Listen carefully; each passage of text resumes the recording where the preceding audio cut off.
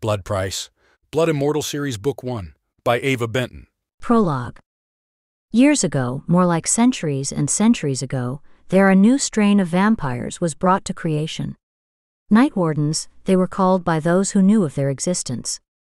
A Night Warden's mission was simple guard the high sorceress he was assigned to until needed no longer, then return back to his place deep within the earth, a place called the Fold.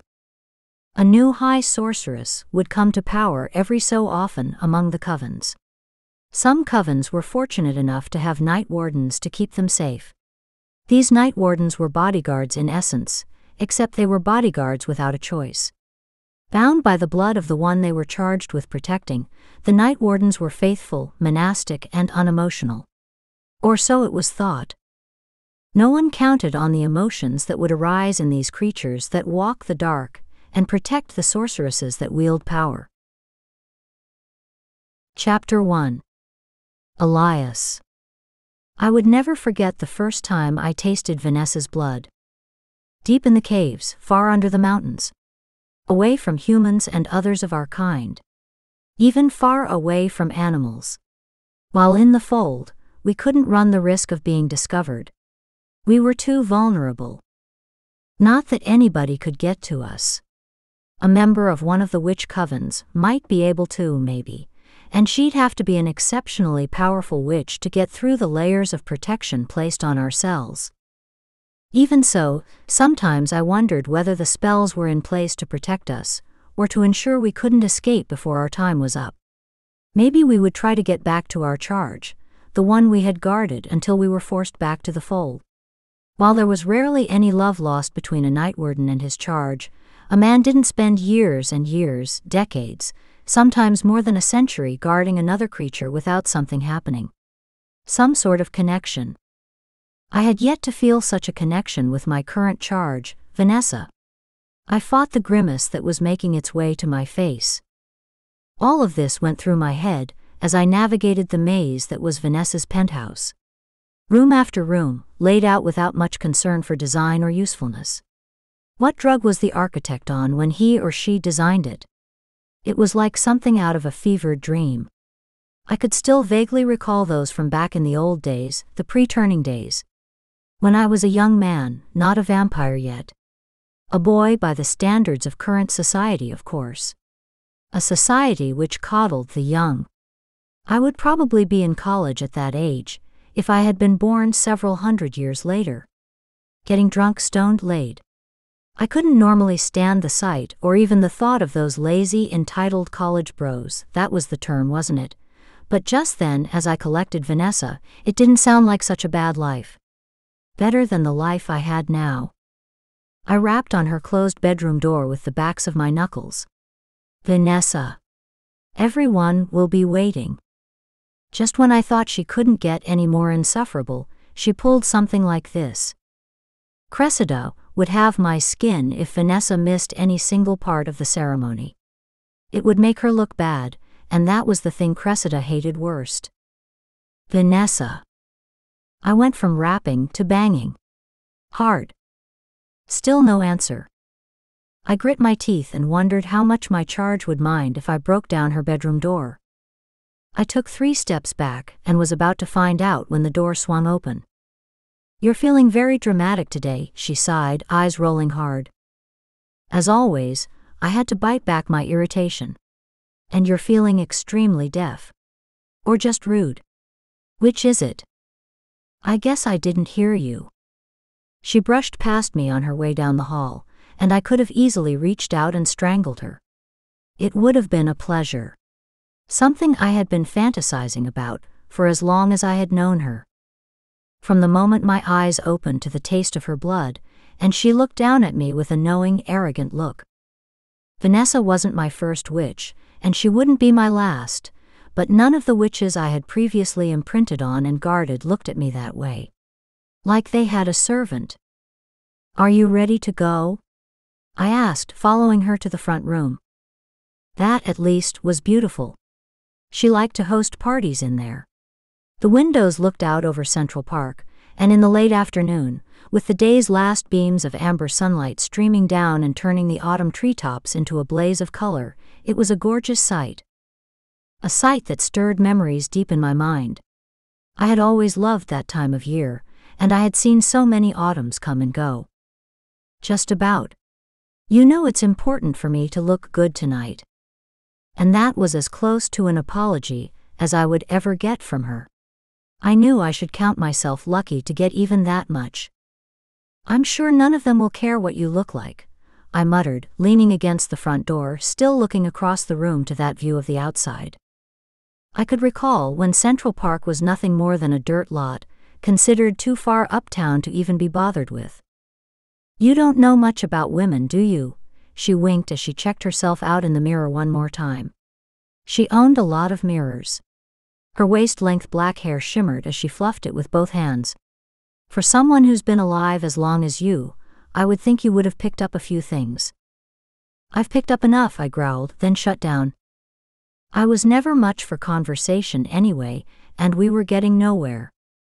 The fact was, no matter how she tried to blow off a coven meeting, no matter how hard she tried to be flippant over anything of real importance, I could feel her apprehension. Her anxiety.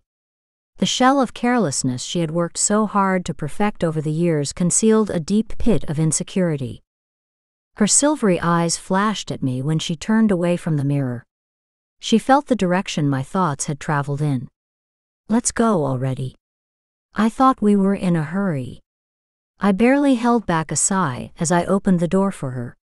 She sashayed down the hall to the elevator in a pair of jeans so tight they could have been painted on. Cressida would take issue with that. Witches weren't supposed to draw human eyes to themselves. Vanessa's argument that humans dressed that way all the time and therefore her outfits weren't outside the norm actually made sense. Fashion certainly had changed over the centuries. The car was waiting when we reached street level, and already the sky had begun to darken overhead. Night came on more quickly every day at this time of year. Another reason I enjoyed it. The driver pulled away from the curb without instruction, already knowing where we were headed. A driver not in use by the coven would question why we'd want to travel to a rundown neighborhood, where rows of abandoned buildings sat and rotted. Trash littered the sidewalks, bottles, wrappers, used condoms, and needles on the corners where the prostitutes and drug peddlers did their business.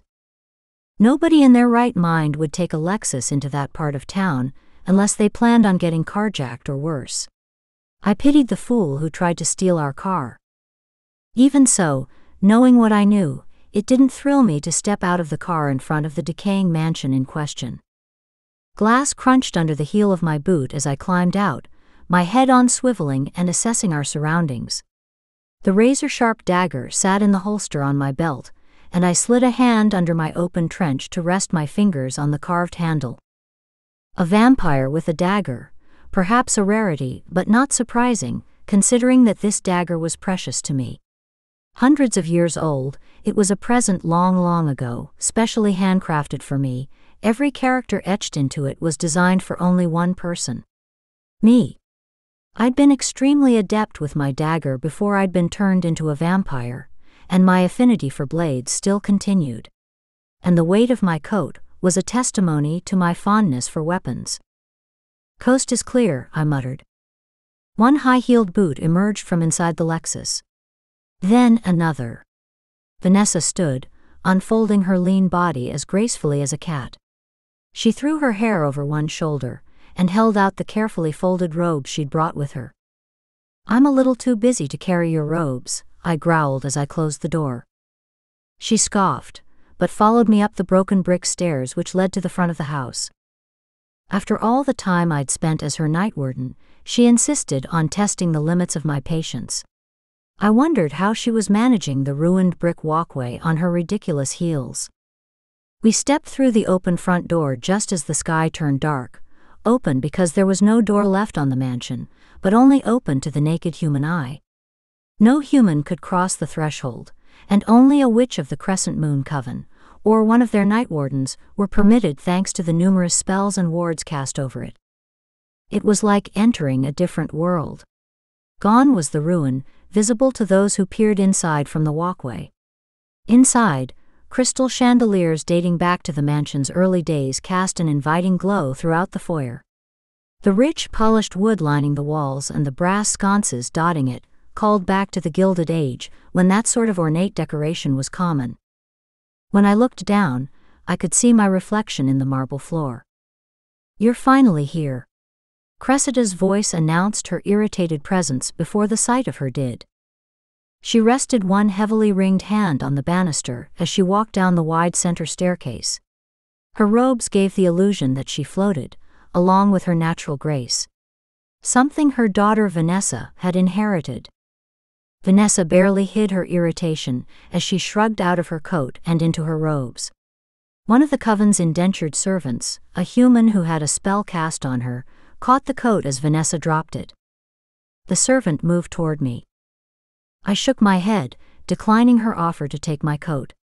Even in the middle of the coven, I preferred having the weapons which lined the inside of my black trench coat close at hand. Sorry, sorry. Traffic, you know how it is. Vanessa kissed her mother's offered cheek before adjusting her deep purple robes. Cressida raised one jet black eyebrow in response. Hum. And yet I made the drive down from the Catskills, but still managed to get here at a reasonable time. How interesting. I felt Vanessa's rage, which only masked her shame. Cressida had a way of bringing that up, but I guessed any mother knew how to push her daughter's buttons. I preferred to stay far away from their dramatics. Cressida turned to me. Elias. Good to see you again. And you, I said with a bow, hands clasped behind my back. I couldn't read her as easily as I did her daughter, since I had never imprinted on her, but I knew her graciousness wasn't sincere. As far as she and any other witch were concerned, I was not much more than a servant. Like the groveling little servants who collected coats and offered refreshments during meetings of the coven. Come. The others have already gathered downstairs. With a dramatic sweep of her robes, Cressida led the way through the first floor. Vanessa silently seethed, for once I could almost understand why. She had come into power several years earlier, replacing her mother as High Sorceress of the Coven, but her mother still acted as though she were in charge. It would get to me, too. The older woman led the way down a stone staircase, followed by her seething daughter. I was careful to keep clear of Vanessa's long robes as they trailed behind her, while my eyes swept back and forth. Even though she was as safe as she would ever be in the heart of her coven, the instincts I had honed over years of service to other sorceresses just as powerful as Vanessa told me to keep watch. Perhaps none were quite as powerful as Vanessa, however. There was no other witch as powerful. Certainly not in her coven, at any rate, but I had experience with others which stretched back hundreds of years, back to the old country. And I had never seen anyone like her. And she knew it. The other witches greeted her warmly, almost reverently. Don't encourage her, I thought with bitterness. She must have felt my thoughts, and glanced at me with a sour expression before accepting the adoration of her coven. Now that we're all together and the moon is rising, let us go out to the garden, she announced. Is the circle in place? It is, one of the witches replied with an eager smile. Diana. Ass kisser. Vanessa couldn't stand her. Good. My charge smiled and led the way through the door which opened up onto the rear garden. As was the tradition in the old days, the garden was surrounded by a 10 foot high brick wall, which allowed for privacy. After all, those living inside wouldn't want the common rabble who passed by on foot to enjoy the beauty they surrounded themselves with. A small wrought iron door led to the desolation just outside the garden walls. I barely registered the presence of the many rose bushes in bloom all around me. They bloomed year round anyway, thanks to the magic surrounding them. What I saw was a circle of lit candles, which Vanessa stepped into the center of. The rest of the coven, two dozen witches in all, stood along the perimeter of the circle and raised their arms, fingertips touching as the sleeves of their robes hung down to the ground. They formed what looked like a solid wall around their high sorceress, Vanessa, who raised the robe's hood over her head before tilting her face up to the rising moon. I had watched the ceremony before. It was the same at every full moon, when the coven got together and summoned the moon's inherent power to make their magic stronger and cleanse the energy which enveloped them. I was tired of it. The same invocations, the same chanting. It was all a big show as far as I was concerned. Finally, time to wrap it up. We thank you, Goddess of the Moon, for shining your divine light on us, Vanessa crooned, staring up at a completely unfeeling, unthinking rock which only reflected the light from Earth. I stifled a yawn. Thank you, Goddess, the witches chanted, swaying slightly. Thank you, Mother Moon. Each of the witches then bent to pick up a candle. I stepped aside, guarding the door as Vanessa led a procession back into the basement, where the rest of the meeting would take place. I waited until all of them were inside, before closing the door behind me. The candles sat on pillars lining the walls of the room. Vanessa's chair, practically a throne, sat at the far end. She lowered her hood and took her seat, while the others sat in a semicircle of chairs arranged in front of her. Cressida sat in the first chair on Vanessa's right, while her sister Mariya sat in the chair on the left. I took my customary place just a step or two behind the high back chair, watching the room. There's a piece of business I would like to bring up at the start of our gathering, Vanessa said, her voice rising. She was anxious, determined, I could feel it as clearly as I could feel my own confusion. What was she about to say? She looked over all of them one by one. I've spent the last two weeks poring over the ancient books which record the history of our great coven. I've read of the ancient ones, the old laws set forth by them. I've even read of the prophecies the wise seers set down in those days. I'm sure we're all aware of them, even if we've never read them ourselves. The talk of a great one, one who would lead the coven through millennia. Yes, yes, Cressida smiled, cutting her off. We're all well aware of these prophecies, High Sorceress. Sorceresses throughout the ages have referred to them. Some even thought the prophecies referred to them and their reign. But we've all seen how easy it is to misinterpret a prophecy, as none of those sorceresses are ruling the coven today. You're correct, Vanessa said, I was surprised for a moment at how even she sounded. How smooth. She had anticipated her mother speaking up that way, of course. Because none of them were smart enough to understand the prophecy's true meaning and how to make it a reality. A murmur rose over the room. Please explain, Cressida said in a voice that towered over the others. Gladly. Vanessa stood, hands at her sides. Those hands were powerful. I had seen them do incredible things. I'd watched lightning bolts zigzag from her fingertips. I'd seen her part rivers, lift a train's engine 50 feet into the air, and hurl it a half mile away.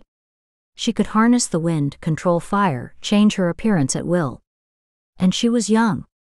Her power would only increase as she matured.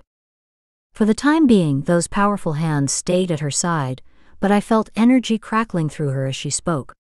According to our ancient bylaws, it is not necessary for a high sorceress to relinquish power after a set amount of time or when the ruling ones deem so. That's a rule we set in motion ourselves after a lot of infighting and backbiting, centuries ago. Those witches are long since dead, but we still follow their rules. As High Sorceress, I have the authority to bypass those rules and revert back to the original law. Which I choose to do now. It took a second or two for the meaning of her words to sink in. You mean? Cressida murmured, eyes wide. I mean, I have no intention of relinquishing my position in the Crescent Moon Coven.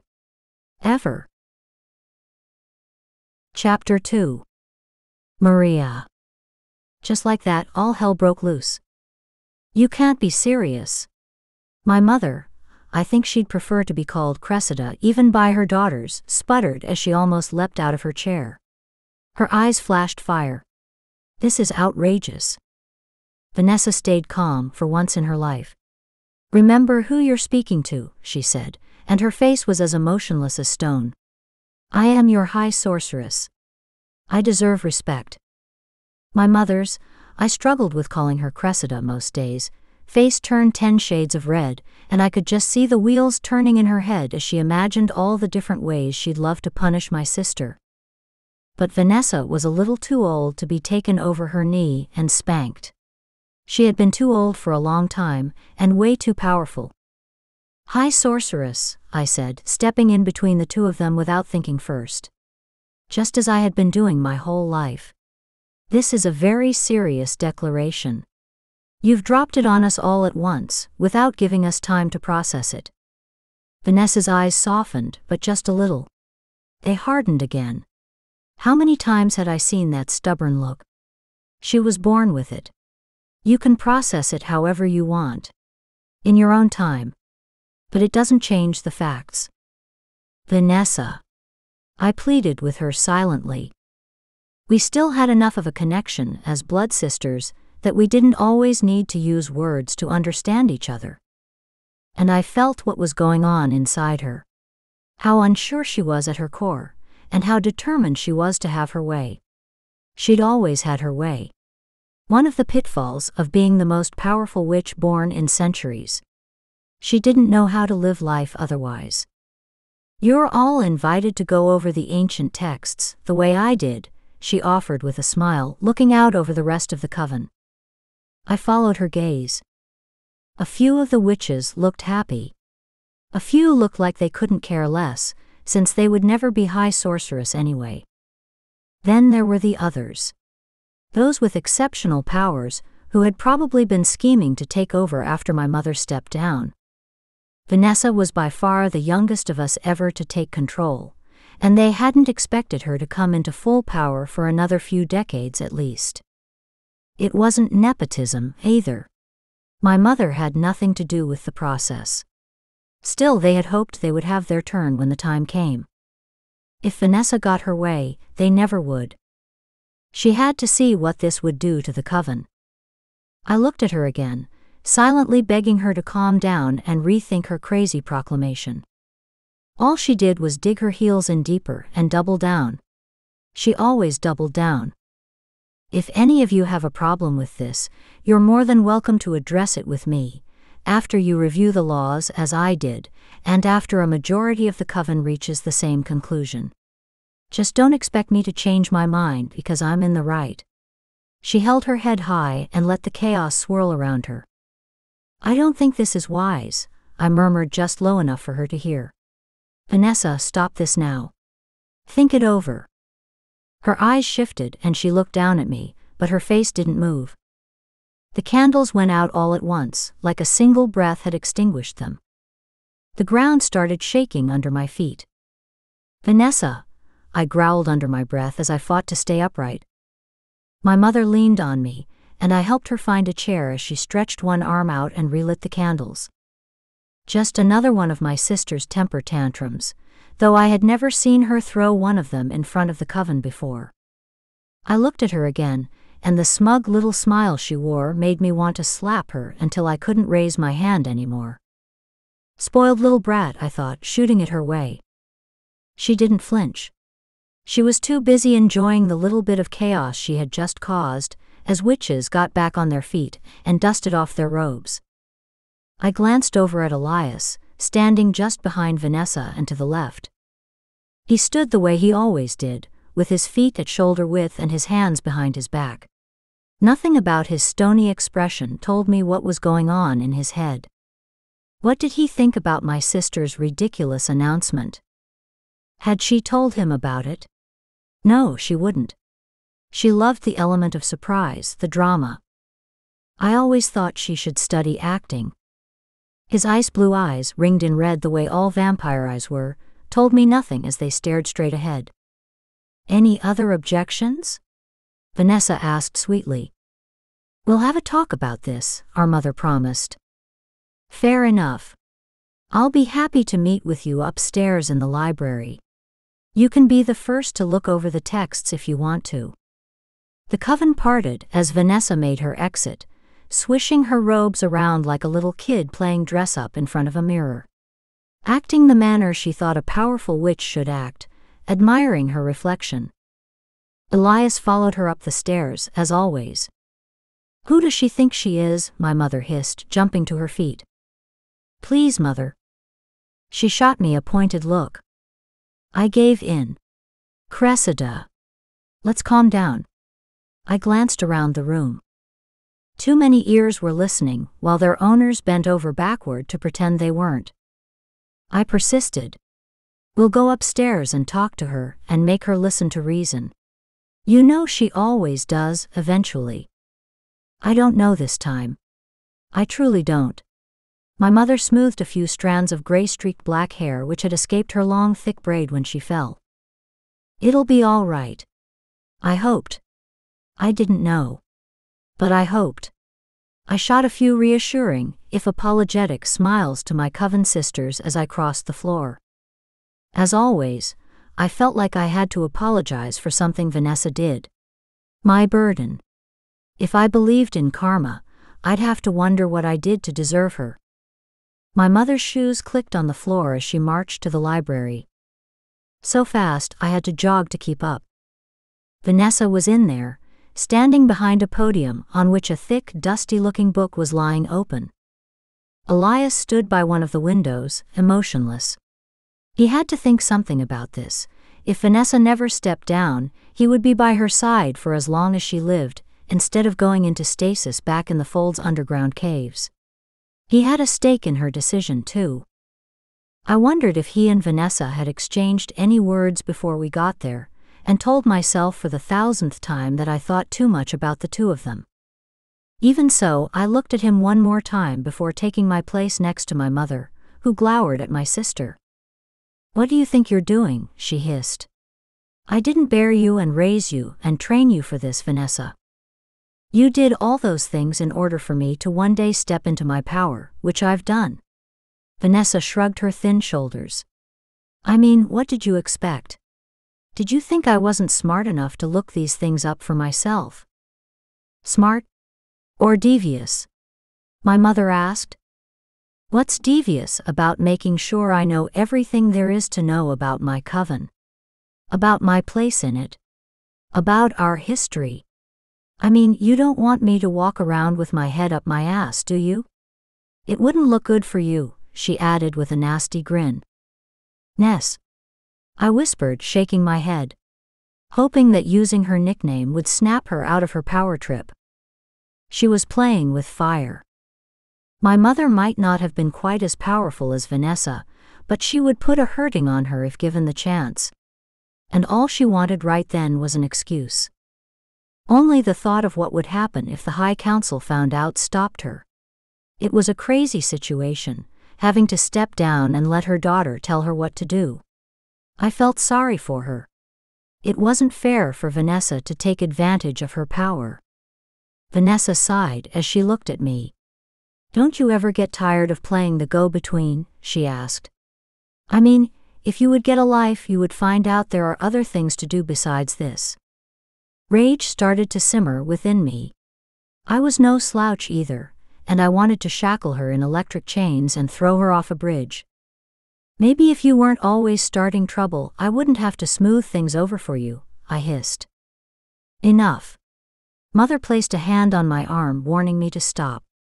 Her head snapped around as she picked Elias's shape out of the shadows. You. Did you know about this? Excuse me? His voice was a deep rumble. You heard me, Nightwarden.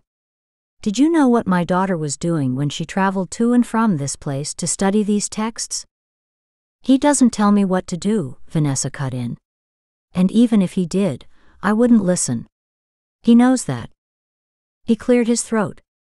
With all due respect, it isn't my place to advise the High Sorceress on her choice of reading material. I barely stifled a giggle, and only managed it because I knew my mother would blow her top. She scoffed just like a vampire. Never stepping up when you truly need him to. Mother, that's enough, I hissed. Mariya's right for once, Vanessa agreed. For once. How cute. The only thing keeping me from slapping her was the fact that she agreed with me. Leave Elias out of this. This is between us, and the fact is, you can't handle knowing this isn't your coven to lead anymore. It's mine. I am the High Sorceress, and mother or not, it isn't your place to tell me what to do. If I were anyone else, you wouldn't dare face me this way. If you were anyone else, I wouldn't have to. My mother shook with rage as she turned away and swept out of the room. My heart sank. They would never understand each other, and I would always be in the middle. The way it had been for endless decades. I turned to my sister. Just give this a little more thought, all right? I've done all the thinking I planned to do, she fired back. And as usual, your logic is fine. Your approach is what you seriously screwed up. But way to go, pissing off most of the coven. It's not up to them to tell you what to do. I know, I said, nodding. But it's up to you to keep the peace. Being a leader isn't all about sitting on a big chair or standing in the center of a circle. I wish you had grown up a little more and figured that out before your powers presented themselves.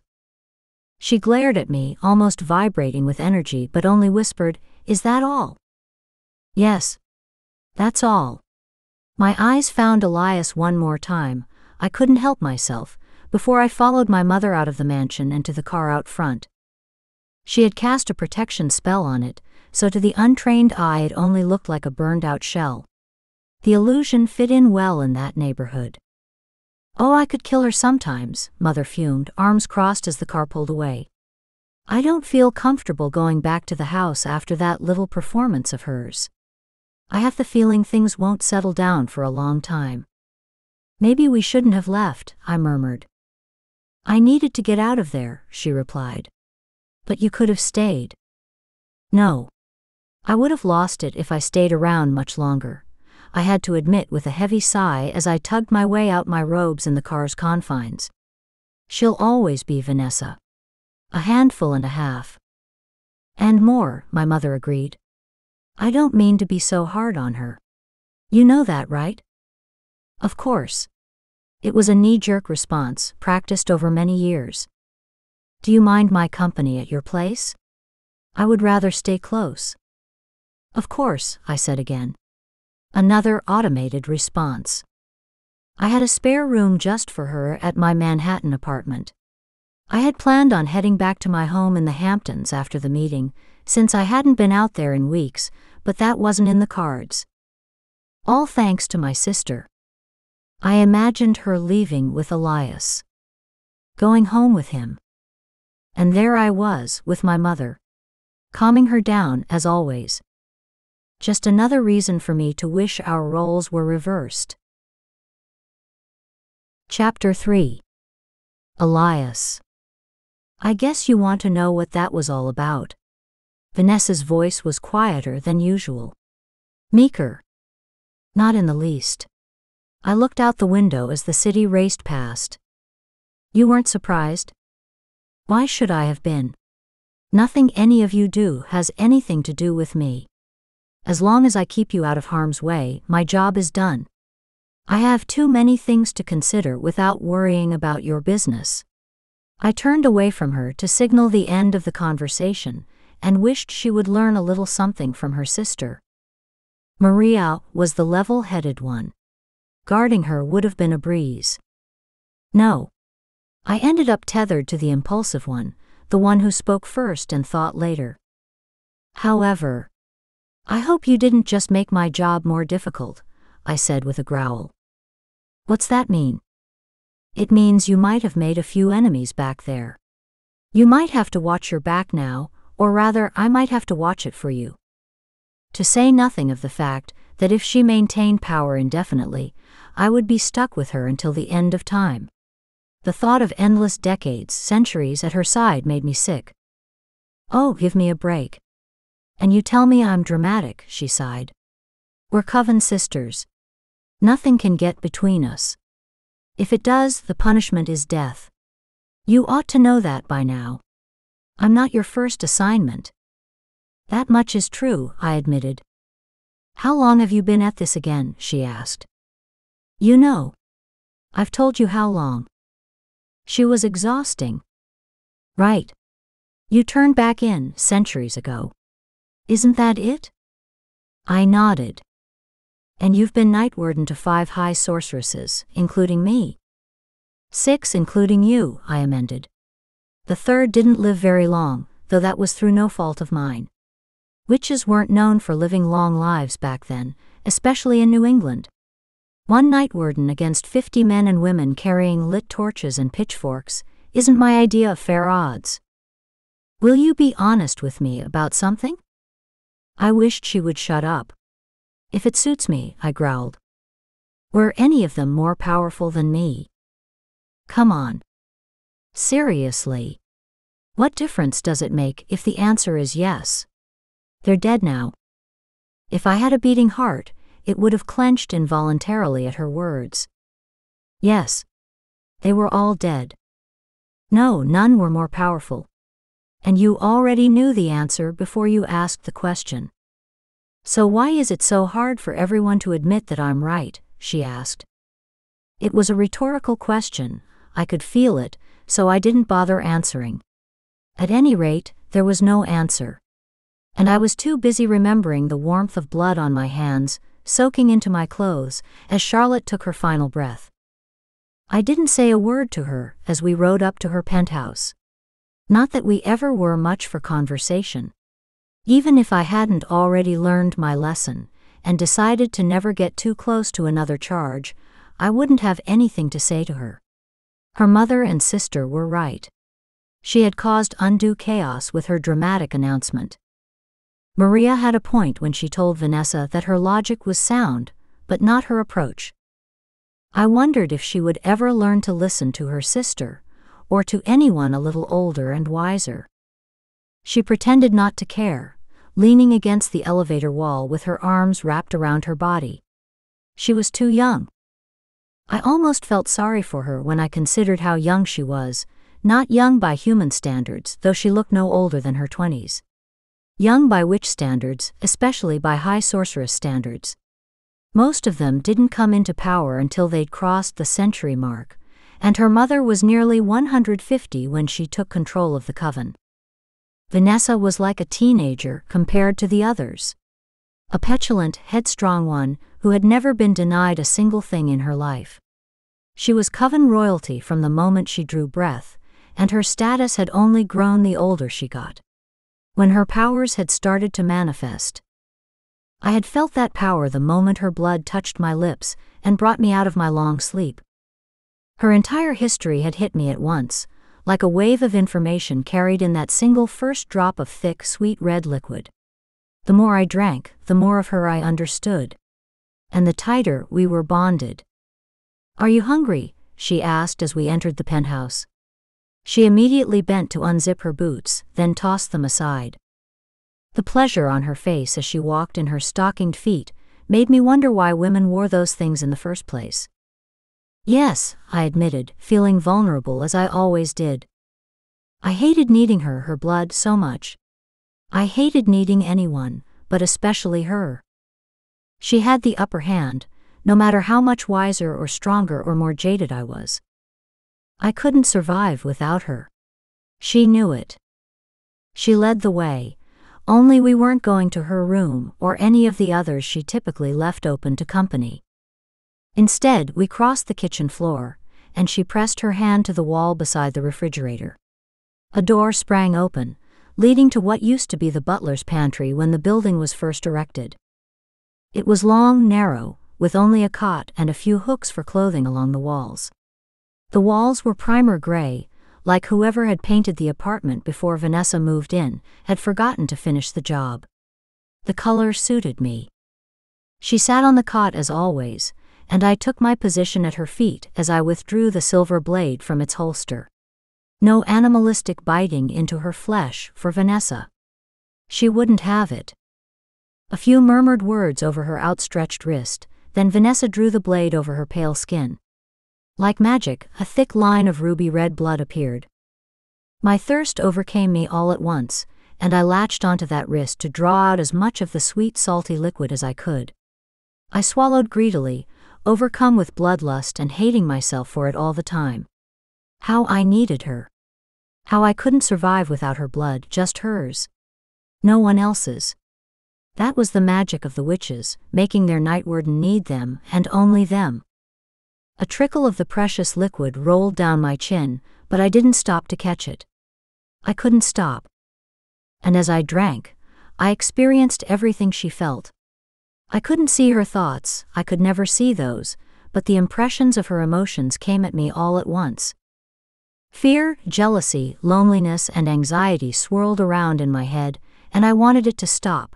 I couldn't take much more of it, but I wouldn't stop drinking for anything because it tasted so good. I groaned, swallowing more, sucking harder. Enough. Her voice was firm and demanding. Even the barely slaked bloodlust wasn't strong enough for me to disobey her power. I released her, my tongue darting over her skin before she pulled her wrist away so I could get just a little more. It would never be enough. I was breathing heavy as I licked my lips. She was paler than before, and there were circles under her eyes. Just like always. She stood, a little shaky, and left my room without a word. The door closed silently behind her. I was alone. My breathing returned to normal after a few minutes, and I could stand without my head spinning from the blood intoxication. The moments after feeding, especially after a deep feeding, always left me a little dizzy. I pulled the cord attached to the light bulb hanging from the ceiling and got undressed, hanging my clothes on their hooks when I finished. It was time to wait until she needed me again. That was always the part one disliked most, never knowing when something would come up. I had a general idea of her schedule, and new coven meetings came once a month, but the rest was always a crapshoot. I had to be with her, even when she took a trip to one of the million and one coffee shops within a two block radius. What was it with 21st century humans and their coffee shops? It had taken a while for me to get used to that, after she woke me in my cell in the bowels of the fold. It took a while to get used to everything. A century spent underground would do that. I reflected on those early days as I cleaned her blood off my dagger, then polished it until it gleamed. Waking up in 2013, 100 years after I went into stasis, was nothing I could have imagined. Of course, there were differences between all of my Nightwarden assignments, especially between going to sleep in the early 1800s and waking up at the dawn of the 20th century. But the last time had provided the biggest shock of all. I had missed two world wars, the atomic age, the dawn of radio and television, the birth of the internet. All of it in 100 years, while I waited to be awakened again. While I waited for the last of Charlotte's imprint to wash out of my system. New York was a different world, too. I had always lived in the heart of it, since back before it was a proper city. It was a beautiful place in the old days, when Charlotte and I would walk the streets together at night. Sometimes we would be out until dawn doing nothing but talking. Passing gaslit restaurants and hearing the soft clip clop of hooves on cobblestone as carriages rolled past. A gentler time. Not like the one I was in with Vanessa. I looked at my reflection in the shining blade. I was the same as I had been when I was first turned, or virtually the same. Some of the youthful exuberance was gone from my face, some of the light gone from my eyes. But my hair was the same thick, deep brown, and my eyes were the same clear, icy blue. I stared into those eyes and almost wished it were all over. There was only so much I could take of being little more than a glorified slave. I returned the dagger to its holster, and crawled into bed with one of the books I'd gotten into the habit of storing beneath the mattress. It would be a long night of torment and self reproach unless I found a way to distract myself. Chapter 4 Elias It wasn't until the next morning that I left my room.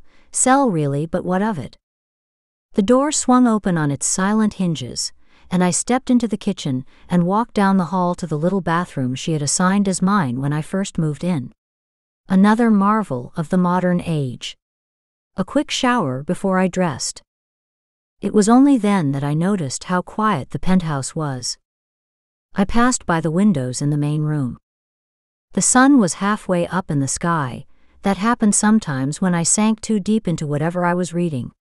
I had finished a massive history of World War II, focusing on the European theater. I was a bit obsessed with it, seeing as how I could still remember the early days of my life in what had since become Serbia. I wanted to know everything that had gone on across the continent while I was in my state of slumber.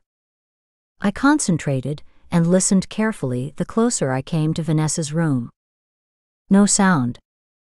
Not even breathing. I knocked. Vanessa. Are you all right?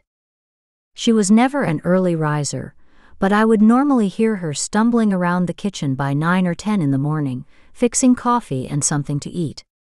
It was unlike her to lie in bed for so long. She must have had a long night. I hoped she'd done a lot of thinking.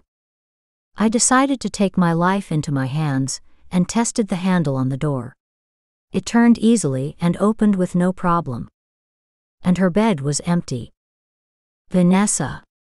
I kicked aside the piles of clothing all over the floor and looked in the bathroom. Nothing. I went back to the bed and placed my hand on the pillow. Cold. She hadn't been there in a long time. Vanessa.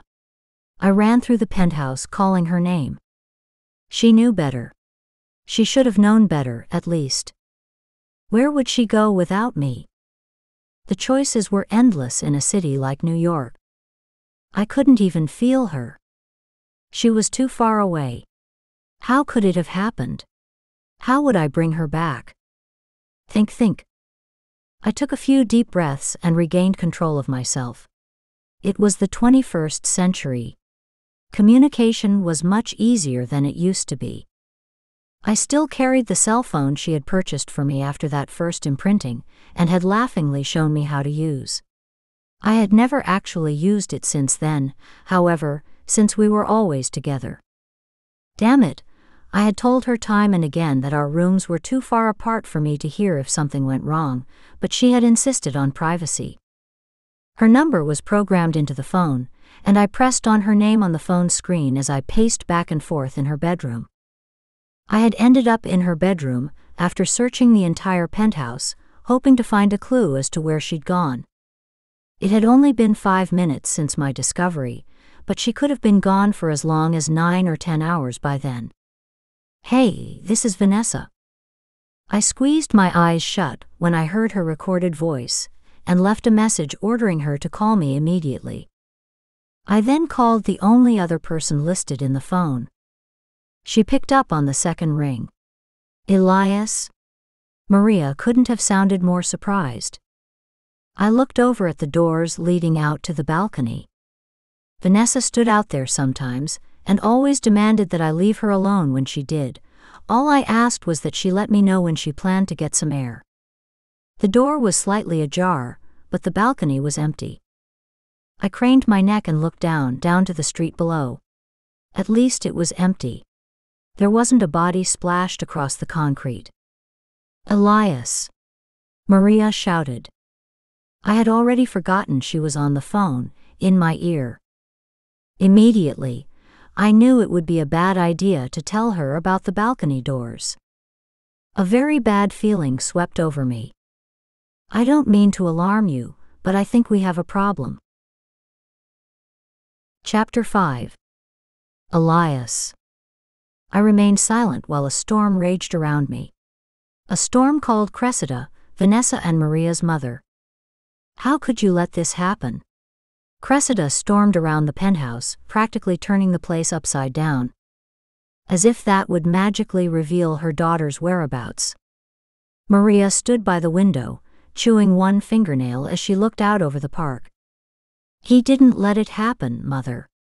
Mariya shot me a look of apology. Well, how else would you explain it? The older witch glared at me, hands on her hips. I wanted to lash out at the witch, tell her she'd done a shit job of raising her little brat.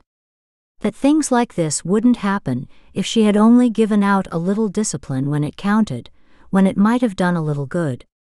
If the entire coven hadn't treated Vanessa like she was the second coming of Christ from the moment she was born, she wouldn't get it into her head to do stupid things. I had no choice but to remain silent. It was part of the role I played as Nightwarden, taking the abuse of the witches we were forced to associate with. Even though I itched to get outside and start looking, I stood there and absorbed her words. Even though I imagined crossing the room in three long strides, picking her up by the back of her neck and tearing out her throat, so her blood coated me from head to toe, I stayed in one spot and made my hands into fists instead, but that didn't keep me from fantasizing about killing Cressida. I could almost feel the warm, sticky blood dripping down my face, my body, as the life drained out of her. One less self important witch in the world. Mother, please, Mariya said, going to her. Sit down. I'll make you a cup of tea. I could see where Vanessa's entitled attitude came from, based on the way Mariya coddled her mother. I don't understand. How could you let her get away from you? Her shoulders slumped as the fight drained from her. How? I don't know, I admitted. It was the first time I had spoken since they arrived, and Cressida began tearing the place apart in search of a clue. I was in my room all night, reading. Normally, I'll hear her. Or feel her presence nearby. Nothing caught my attention. And now? Do you feel her presence? I shook my head. I don't. I know you wish it were otherwise. So do I. She's not the first charge you've lost, is she? Cressida held up one hand to silence me before continuing. You lost the first witch you were assigned after making the trip to the New World. She was oh so lucky I didn't want to die over her murder, or else the main room would become the scene of her brutal, bloody death. I could almost taste her blood on my lips, the vision was so clear. You know the villagers took her away and burned her mother. Mariya slid past me with another apologetic smile. Those were different times. My charge didn't go against my orders then, with all due respect. I ground my teeth together and wished I could get away with saying more. All I needed right now was for someone in the fold to find out I had mouthed off to a former high sorceress. Good thing they couldn't find out what I was imagining. Mariya spoke before her mother had a chance to. You think she ran away? I looked down at her, holding her mother's hand in both of her own. How could two people look so alike, yet be so different? Mariya had Vanessa's black hair, gray eyes, full lips. But the eyes were softer, kinder. The lips curled up in a smile more often than they frowned. She was gentle where her sister was rough. But dealing with two such strong personalities for so many decades had turned Mariya to steel inside. I couldn't know for sure, but I got a very strong feeling that there was more to her than met the eye. She was still in a sour mood when we returned, I explained. She felt as though no one understood her. She said that? Cressida asked. Not in words. I felt it. And I felt it again when I fed, before we parted ways for the night. She left me in my room, and I didn't see her after that. Mariya blushed when I mentioned feeding. Maybe she thought it was something too intimate for me to talk about. I was in no mood to mince words with them. Cressida shook her head. I don't think she would have run. I know my child. Mother, you also know how headstrong she is. She was probably angry after last night, and she wants to make a point. We need her. We can't go on without her. She rolled her eyes. You know how she likes to drive a point home, in the most dramatic way possible. And she's not above putting herself in danger if it means proving she's right. I think Mariya has the right idea here. I went to my room and took my trench of its hook, sliding my arms into the sleeves as I returned to the main room. It was torture, holding back the other factor in her disappearance. That open door. I still wasn't sure what it meant, but I intended to find out. Where are you going? Cressida asked. To look for her, of course. You stupid witch. I thought I would go out for one of those lattes the humans are so crazy about. Do you think that's wise?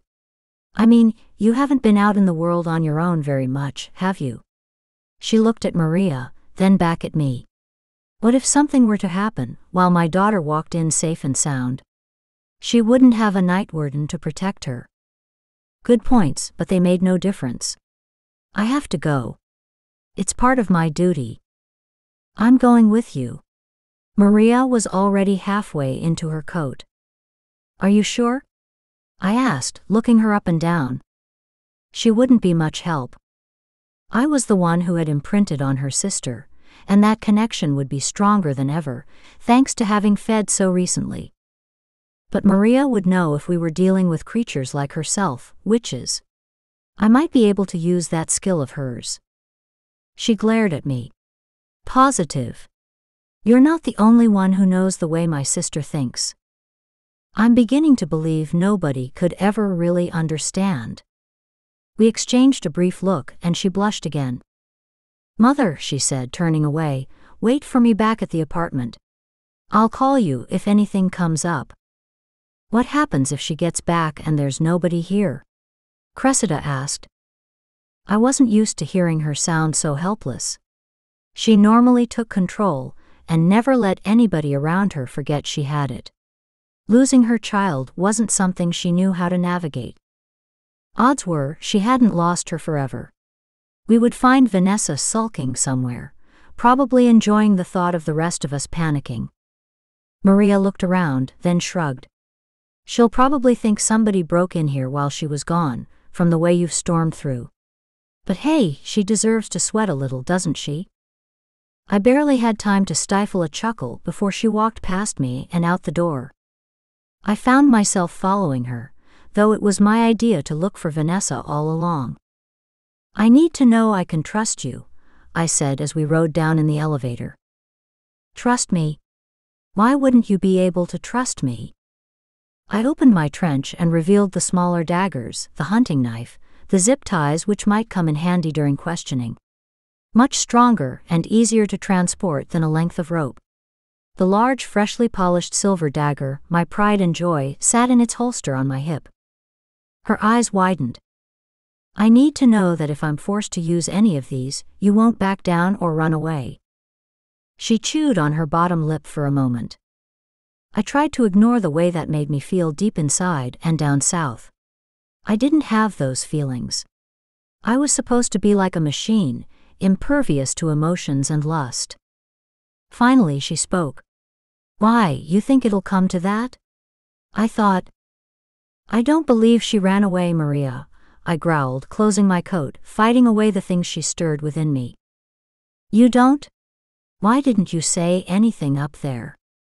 I couldn't help but sneer, and understanding touched her face. Right. My mother. I nodded. She wouldn't have taken it very well. No, she wouldn't have. Her eyes went wide. So, what do you think really happened? Her balcony door was slightly ajar. Either she went out last night or somebody came in. The lock wasn't forced, so I'm thinking it was the former. Oh no, she reeled, then fell back against the wall. I need to know you're going to stay strong, I barked, making her jump. I will. I promise. She had gone a little pale for a moment, but she regained control of herself. Good. Because you know a lot more than I do about the creatures we might be dealing with. Creatures. We stepped out into the lobby, and she hurried to keep up with my long stride. Witches. Sorcerers, maybe, who knows? It's been a century since the last time we had trouble with sorcerers. Not even during my lifetime. I know. Which is why I have to think of them first. They've been lying in wait. We stepped outside together. The sky had clouded over since the morning, and a cold rain had started to fall. Not heavy, but enough to make Mariya shiver and close her coat tighter around her neck. I wondered why she didn't just cast a spell to keep herself warm or something, but it was a very vague thought. Because something much more imperative was gripping me. The need for human blood, which hit me like a tidal wave as a sea of humanity flowed past in all directions. Chapter 6 Mariya. Just like that, Elias went rigid. Like a statue, one moment he was talking in that low rumble of his, almost snarling, and the next he went still. I touched his arm and he recoiled like something burned him, or he had felt something nasty. His eyes met mine, and I barely held back a gasp of surprise. They weren't that beautiful, icy blue anymore. They were blood red. And they smoldered like they might burst into flame at any moment. What's happening? I whispered, cowering away from him. I had never been so terrified in my life. His lips pulled back from his teeth in a snarl. My eyes darted around, half looking for help, and half praying that no one noticed as we stood together under the overhang attached to the front of Vanessa's building. I. I can't. He swallowed hard. I can't stand it. His face twisted, turned ugly. His eyes bulged, his skin went whiter than white. His jaw worked like his fangs were extending, and he didn't have room for them when his mouth was closed. What? What can't you stand? I whispered. Blood. I need blood. Now. He seemed to tower over me as his senses slipped away. I was losing him. It was so easy for me to forget who he really was. What he was. Not even human. Just a vampire. It was so easy to forget. You need to deal with it, I spat, staring up at him with all the intensity I could manage, even though I was pretty close to peeing my pants. Or screaming. Don't tell me, he snarled. I know she cast the spell on you because I was there when you woke up. You should be able to control yourself in the presence of humans. You need to try. Why had he lost the control he'd had all this time? What changed? It's too much. His chest rose and fell with each desperate, rasping gasp for air. His body almost vibrated with need. I had never seen anybody lose it like that, and had no idea what to do.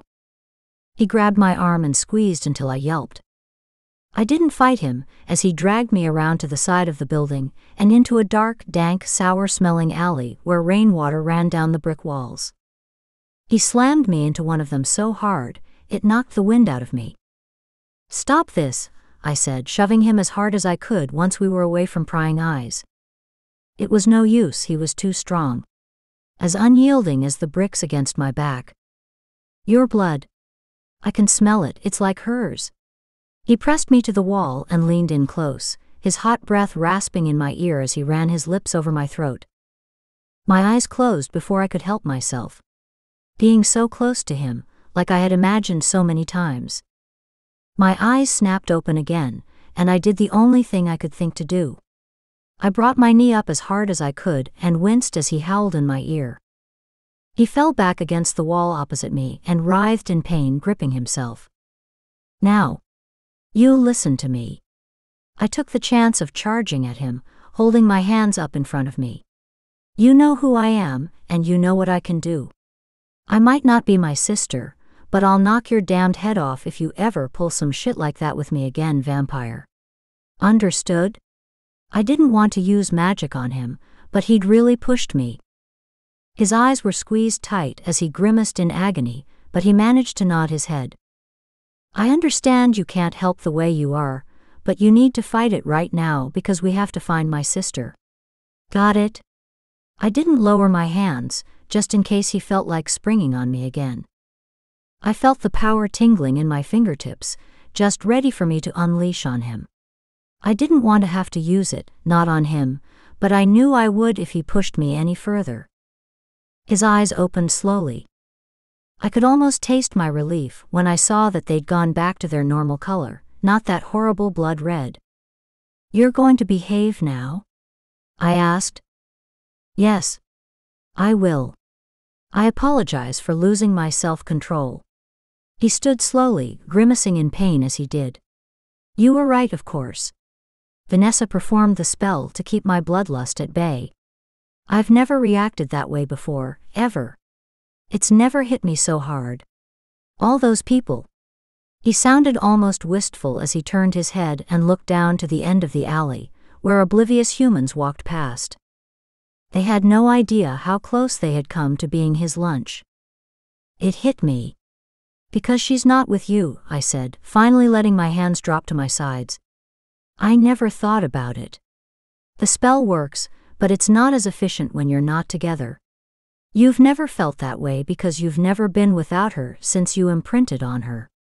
And I guess there weren't this many people everywhere the last time you were here with your last charge. You're right. It's the only explanation that makes any sense. His forehead creased when he frowned, and his thick dark eyebrows knitted together. I don't know if I can control it. You don't have a choice, I reminded him. I wish I could cast a spell for you. But we both know how that would go. That's true. Both my coven, not to mention the High Council, and his fold would be pretty righteously pissed off if we messed around like that. Once a vampire imprinted on one of us, it was only that witch's blood they would drink. Only their spells they could live under. I had an idea. What about animals? There's bound to be a stray dog or cat around here. He shook his head. Animal blood is disgusting. Says the vampire who thinks human blood is a delicacy. Beggars can't be choosers, I said, instead saying of what I was thinking. He sneered. I'll be all right. I'm aware of it now, and I'm controlling it. The whole thing simply came as a shock. I can still smell the blood, but I don't need it. That's a relief then. I was so relieved I could have cried. I looked up and noticed that it was still raining. And I was getting soaked. You think you can walk? I asked, looking him up and down. I'll try, he sneered. I regretted trying to be polite. Good. Let's get moving. Where do you want to check first? he asked. You'll see. It was going to my head, the fact that he had to follow my lead. I knew it, and I didn't care. In fact, I felt a little proud. For once, somebody had to listen to me. Chapter 7 Mariya. I brushed the rain from my coat once we stepped into the club and wished I had an umbrella. My hair was a soaked, tangled mess. I shook what water I could from it and fished around in my purse for a clip to hold it back. A messy bun was better than letting it hang in my eyes. Why are we here? he asked. There was a look of disgust on his face. Don't bother looking like you just stepped in dog shit, I muttered through clenched teeth as I scanned the room and saw nothing but hostile eyes looking back at me. Nobody here likes you any more than you like them. Thank you for the update, he growled back. Listen up. This happens to be one of the social hubs of our world, mine, I mean. You can't tell me my sister never told you about this place. She might have mentioned it once or twice, but it isn't like we spend long nights chatting by the fire. This was part of her old life. Right. She used to come in here all the time. Before she took over the coven, I mean. Now she can't come and go as she used to. That I've heard about, he chuckled humorlessly. I'm sure you have. Come on and behave yourself for her sake. I led the way through the nearly empty club. It looked as though only the employees were there, getting ready for that night's crowd. With the lights on and no music blasting from the speakers, it was like a completely different place. I had spent my fair share of time here. I wasn't under the same restrictions my sister was. I recognized Julius behind the bar, restocking the bottles and polishing the glasses. Julius. Long time no see. I was just thinking the same thing about you. The tall, burly bartender shot Elias a dirty look. Him I could do without seeing at all. Yeah, well, I'm sure he feels the same way. I could feel the disgust coming off Elias in waves, like he would rather do just about anything else than be in the presence of so many witches. Coven meetings must have been a real joy for him. I know you have to have a good reason for bringing him in here. Julius leaned on the bar, arms spread wide. Maybe to show my vampire companion what a long reach he had in case fists started to fly. So, what's up? I know you're the eyes and ears of this place, I said with a wide smile. You know all the dirt on everybody who steps foot in or out. Could be, he grinned.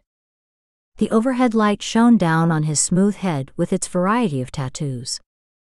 He'd updated his ink since we were together, I noticed.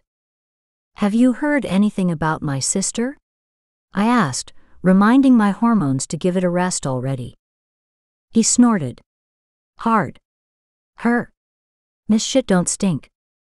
Ah, so you have, I laughed, even as tension knotted in my stomach. Yeah, she's sort of a big deal now. Too big a deal to stop by anymore, he said, shaking his head with a frown. A real shame. She lit this place up. Yeah, it's a shame she found something more important to do with her life, Elias snarled. I threw an arm across his chest but didn't look at him. Anyway. Anything, you know, not so nice? Not even specifically to do with her. You can tell me, I winked. Come on. For old time's sake. Elias snorted in the back of his throat, but I ignored that.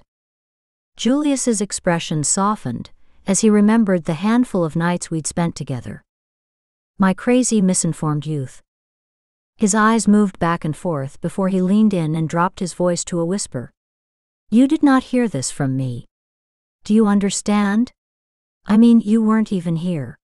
He glanced at Elias. I really wish you didn't bring him in here with you. They'll remember him, anybody who gets asked any questions later on. Shit.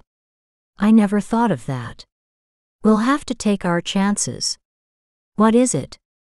He looked around again before saying, A couple of strange dark warlocks have been showing their faces around here.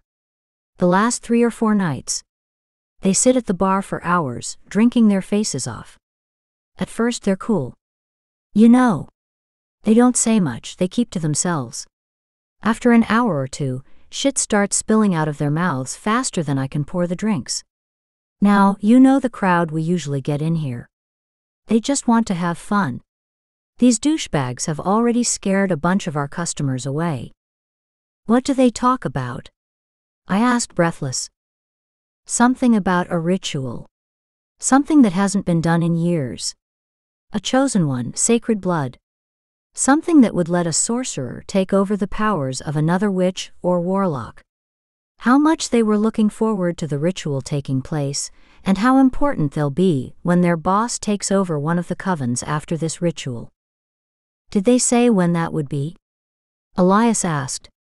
His voice was flat, emotionless. They didn't. He straightened up and went back to his work. As I said, you never heard it from me. Now I think you'd better go. Fast. He wasn't kidding. We were attracting more attention than I was comfortable with. I felt curious eyes on us as we stepped back from the bar, then left the club hand in hand. I didn't know when I took Elias's hand, but I was holding it when we stepped back out into the nasty, chilly gloom. What did you make of that? I asked, as I turned up my coat collar against what had become a heavy mist. My palm still seemed to tingle from the touch of his skin. Have you ever heard of that ritual before? He looked up and down the street. His jaw worked, the muscles jumped. Clearly, he was still struggling to keep his bloodlust under control. No, but I'm sure there has to be a record of it somewhere. I could ask Mother. Don't do that. It'll only get her all worked up, and she'll want to mount a war when we're not even sure who the enemy is. Although I have my suspicions. Where should we go now? The mansion. The library at the mansion. If there's a clue to find, it'll be there. Chapter 8 Elias Mariya and I were leafing through books at the mansion's library. Mariya's hair a sexy knotted mess she'd pulled back. I never thought I would say this, but I wish I knew more about black magic. Mariya shook her head as she flipped through page after page so fast, I thought she might tear them. Nothing in the book on rituals. I asked. No. Nothing that fits in with what Julius told us. A chosen one, sacred blood, taking another witch's power. I feel like we're running out of time, and I don't know what to do about it. A note of panic crept into her voice. Remember when I asked if I could trust you? I called out from the corner of the library as I pulled down another book on ancient blood magic. There was a K on the end. Magic. It looked around as old as I was, if not older. Yes, yes. I remember. I need to know you're going to keep your head on straight. I picked up the book she had just finished skimming through and handed her the new one. Start on this. I feel like my eyes are crossing. What time is it? She rubbed the bridge of her nose between her thumb and forefinger. Not late enough for us to quit. I spread out a weathered old scroll and tried to make heads or tails of it, barely paying attention to her question. Nice. Very nice. Like I would quit on my sister. I didn't mean you would. You're the one who used that word, she snapped. She's not just my sister. She's my high sorceress. This is a bigger deal than you realize, Elias. I'm fairly sure I'm aware of the severity of the situation, Mariya. But thank you for underestimating me. I glanced up at her. Don't make that mistake again. She rolled her eyes. Right. When you know as well as I that I could drop you like a bad habit with a flick of my wrist. Don't test me and stop wasting time. She dove headfirst into the book, squinting as she read. I had to give her credit, she gave as good as she got. Here's a question I think we need to keep in mind, I said as I rolled up the useless scroll. Who would have the power to either scale the walls of the apartment building or transport themselves to the balcony? because they couldn't walk in with the intent to harm her. There are dozens of spells surrounding the building to protect her from that. She looked up. That's a good question. Maybe we've been approaching this the wrong way. Who has the power? And why would they want hers if they already have so much of their own? I snorted. When you have power, you want more power. There's never enough. You speak as though you know. Maybe I do, I murmured. She sighed, looking around the room. When I think that I stood right here last night, in front of this podium, and said such nasty things to her. She deserved it. Mariya's eyes widened in surprise. I didn't think you were allowed to speak against her. Who told you that? I asked with a raised brow. Her mouth fell open, then she blushed. My mother, she blurted out before dissolving into a fit of laughter. She always told us her Nightwarden wasn't allowed to talk back. Maybe she just wanted him to keep his mouth shut. Now that I think about it, she always shot him one of those looks when she said it. She imitated her mother's cold glare, the imperious way she looked down her nose. I had to admit, she had it down to a science. I even smiled for the first time in, well, for the first time in a long time. But her laughter was a little too loud, a little too shrill. It ended in a strangled sob as she leaned her head on her palms and burst into tears. I turned away, looking out the window, not that there was much to look at, even without the rain which had picked back up. The neighborhood was bad enough without adding water.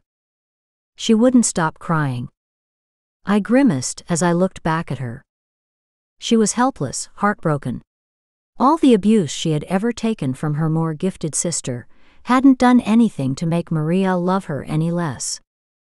It was probably that love which kept her going without cracking under the strain. Don't cry, I said, going to her. We'll get her back. If my last words to her were nasty ones.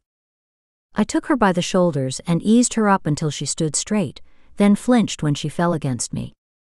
My arms hung at my sides, and I wished like hell that I hadn't touched her.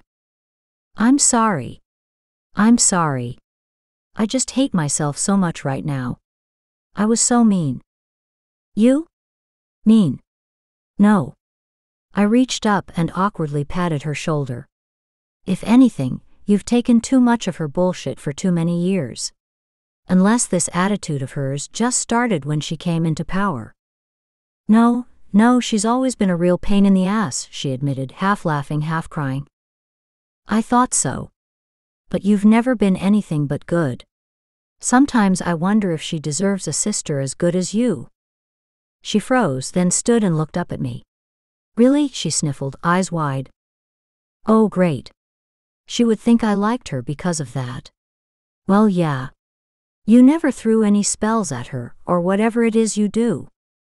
I patted her shoulder one more time before going back to the long, heavy desk I had been working at before she broke down. It was better to pretend that had never happened. Just like she was nice enough not to mention my losing control when we first left the apartment building. I remembered the sheer unbridled lust which had raced through me and set my brain on fire with need. My mouth went dry when I recalled the scents moving all around me. Sweet hot blood, pumping through the veins of so many clueless humans. Just waiting for me to sink my fangs in and drink deep, sating my thirst no matter how many lives it took. And Mariya. I had smelled her blood too, and the scent reminded me of Vanessa. No matter what I thought of Vanessa, her blood kept me alive. For a split second, I had tried to convince myself that drinking from her sister was the next best thing, that nobody would care and I would get away with it. That was how insane the bloodlust made me. I wanted to rationalize all manner of stupidity. And her body. She had been so warm and fresh. Another good reason for me not to return her hug. I didn't need the reminder of how ripe she was. Soft and full. Hello, Mariya said. What? I had no idea how long she had been talking while my thoughts were a mile away. What would she think if she knew I had been thinking about the firmness of her breasts against my chest, and the way her short, breathless gasps had gotten me hard? I asked if you think Kristoff or one of his friends would be capable of something like this. He's the only sorcerer I've ever heard stories about, and they were all terrible ones. Just like that, I snapped back to reality. I'm sure they were all true too. So you knew him? Of him, yes. I witnessed the results of a few of his schemes a long time ago. What was he like? What did he do? He enslaved witches, I said without hesitation. It was always his goal to increase his power. Our eyes met, and I knew the horror in hers was reflected in mine. You think? she asked. I do. We've approached this from the wrong direction. We have to find him or someone who knows him. We have to get to the heart of what he's plotting. We raced out of the mansion and down the broken brick stairs. Mariya was right about one thing. It was strange, thinking about how different everything was less than a day earlier. Kristoff. A name I had hoped I'd never hear again. Mariya didn't need to know the specifics of what he could do when he set his mind to it, but I couldn't hold back the flood of memories. The way an entire coven had almost disappeared from the world because of his plotting. Picking them off one by one, sapping their powers before killing them and tossing their bodies aside like garbage. The police had called it a rash of murders, perhaps a serial killing. That wasn't a common term back in the early days of the 1900s, but Kristoff had made it a household one. Women were terrified to walk the streets back then, no matter the time of day or night. They didn't know that the murders were all very specific, poor things that the only requirement for one's body to be found washed up on the pilings along the river, half eaten by fish, or face up in the middle of Central Park with its skin peeled off, was to be in possession of magical powers. My fingers lengthened into claws when I remembered those days, and all the witches he had mutilated. I should have killed him when I had the chance. Chapter 9 Mariya I could feel their presence, my mother and the other witches, before we reached the top floor of the building. So could Elias. Witches.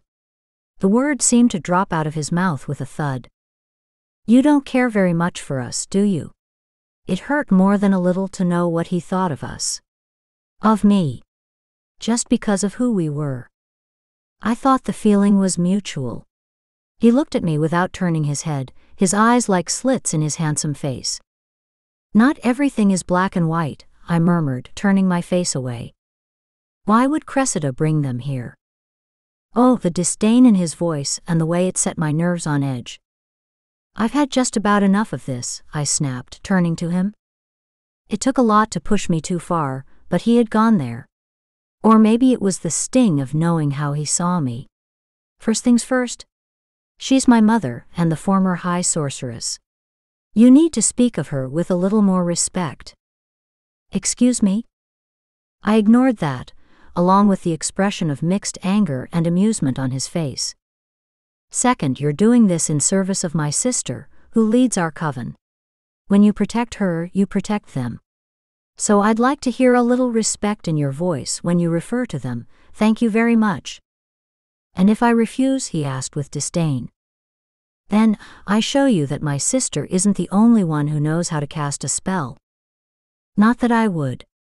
Not that I was even sure I could against him.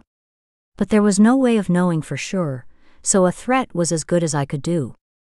I didn't let my doubts change the way I looked him straight in the eye, though. He tilted his head to the side, like he was sizing me up. Understood, he muttered. Simple as that. I almost sagged against the wall of the elevator car in relief. The doors opened in time to save me from that humiliation. The fact was, I was just as irritated as he was when I felt the presence of my coven sisters. I couldn't put my finger on why. They deserved to know that Vanessa's disappearance might be much more sinister than we first thought, of course. It might affect them somehow, too. It was the lack of time that bothered me. I couldn't wait around and listen as my mother tried to take control of the situation. Will we tell them what we think? I asked as we approached the front door. I'm not sure, he admitted. Let's see what we find in there. What we found was nearly two dozen witches standing in a circle, chanting. I recognized it immediately a protection spell for Vanessa. Calling on wards to wrap her in protection against any threat which might befall her. It couldn't hurt. I wondered what they'd do if they knew just how much danger she might be in. Our arrival was an interruption, and my mother caught my eye from across the room. She was at the head of the circle, of course, with her back to the window. She raised her arms in greeting. You're just in time, your presence is sure to strengthen our spell, she said in a low melodic voice. Candles flickered in the draft caused by our opening the door. Elias slammed it shut. I silently cursed him for being such an idiot. A few of the candles sputtered, and several heads turned in our direction. We had ruined the moment. We're sorry, I said, blushing furiously. I'm not, he whispered. I glared at him. Join us, Diana encouraged, standing at my mother's right hand. I told myself it wasn't right to feel a little flash of irritation toward her. She was my coven sister. We were all part of something bigger than ourselves. That didn't stop me from thinking she was a little too much at times. They all know, my mother stated matter of factly. Yes, so I gathered. I looked at Elias, who went off to the kitchen to fetch some of the synthetic blood Vanessa kept on hand. If he wasn't thirsty, the need for blood wouldn't be so strong. At least I hoped so. I turned back to my mother. I thought you were going to my apartment. I thought it would be best to perform the spell here, where she lives, my mother explained, lowering the hood of her robe. The only light in the room came from the candles lit throughout, and her hair and eyes glistened in the flickering glow. I wish I could join you. I truly do. But Elias and I only stopped in for a minute. Did you find anything? I shook my head. Nothing concrete. But it's been hours. The sun has set, and there still isn't any sign of her? Another head shake. No. It's looking more and more like this isn't a case of running away or even wandering off. I guess it's better that we all know the truth. There's more to it than that. Elias strode in. I could smell the blood on his breath. I was glad he hadn't drank in front of me. I had already seen how he changed when it came to getting his blood, and it wasn't something I wanted to see again. More? My mother asked, one eyebrow cocked. A murmur rose over the room.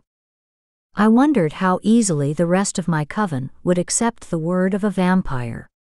Nightwarden or not, his kind wasn't exactly trusted. My stomach clenched and my palms went sweaty. I think we should all find seats. There isn't much time, but you might be able to help us.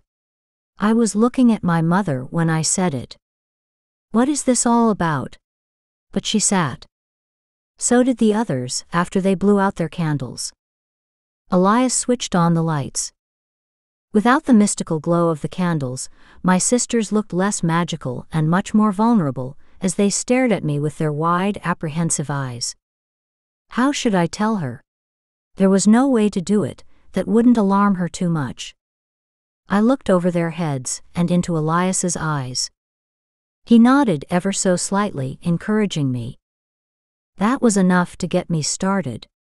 Mother, have you ever heard of a blood magic spell which allows the witch who performs it to absorb the powers of the witch they choose to perform the spell upon? Her mouth fell open. A terrible silence spread over the room at her reaction. She didn't speak for a long time, when she did, it was to Elias. You think it's happening again? she asked with a tremor in her voice. It's a strong possibility, he replied. I don't understand. What does this all mean? I asked, looking back and forth between the two of them. I never would have expected them to have a common ground, something only the two of them seemed to be aware of. She clasped her shaking hands together and looked at the floor. It's happened before a sorcerer kidnapping witches and draining their power. Over a hundred years ago, well before your time or anyone else's here. Only Elias and I were around then. I can't believe it. I thought. I don't know. I thought he was gone, dead. Who? Christoph? I asked. Gasps filled my ears. His name was a curse to us, a word we never used. She nodded slowly, like someone who was trying to recover from a great shock. I was very young then, younger than Vanessa is now. My sister, Marissa, had only just been accepted to Cascade Circle Coven. She's now their high sorceress, but at the time it was Charlotte. Only her eyes moved, and they rested on Elias's face.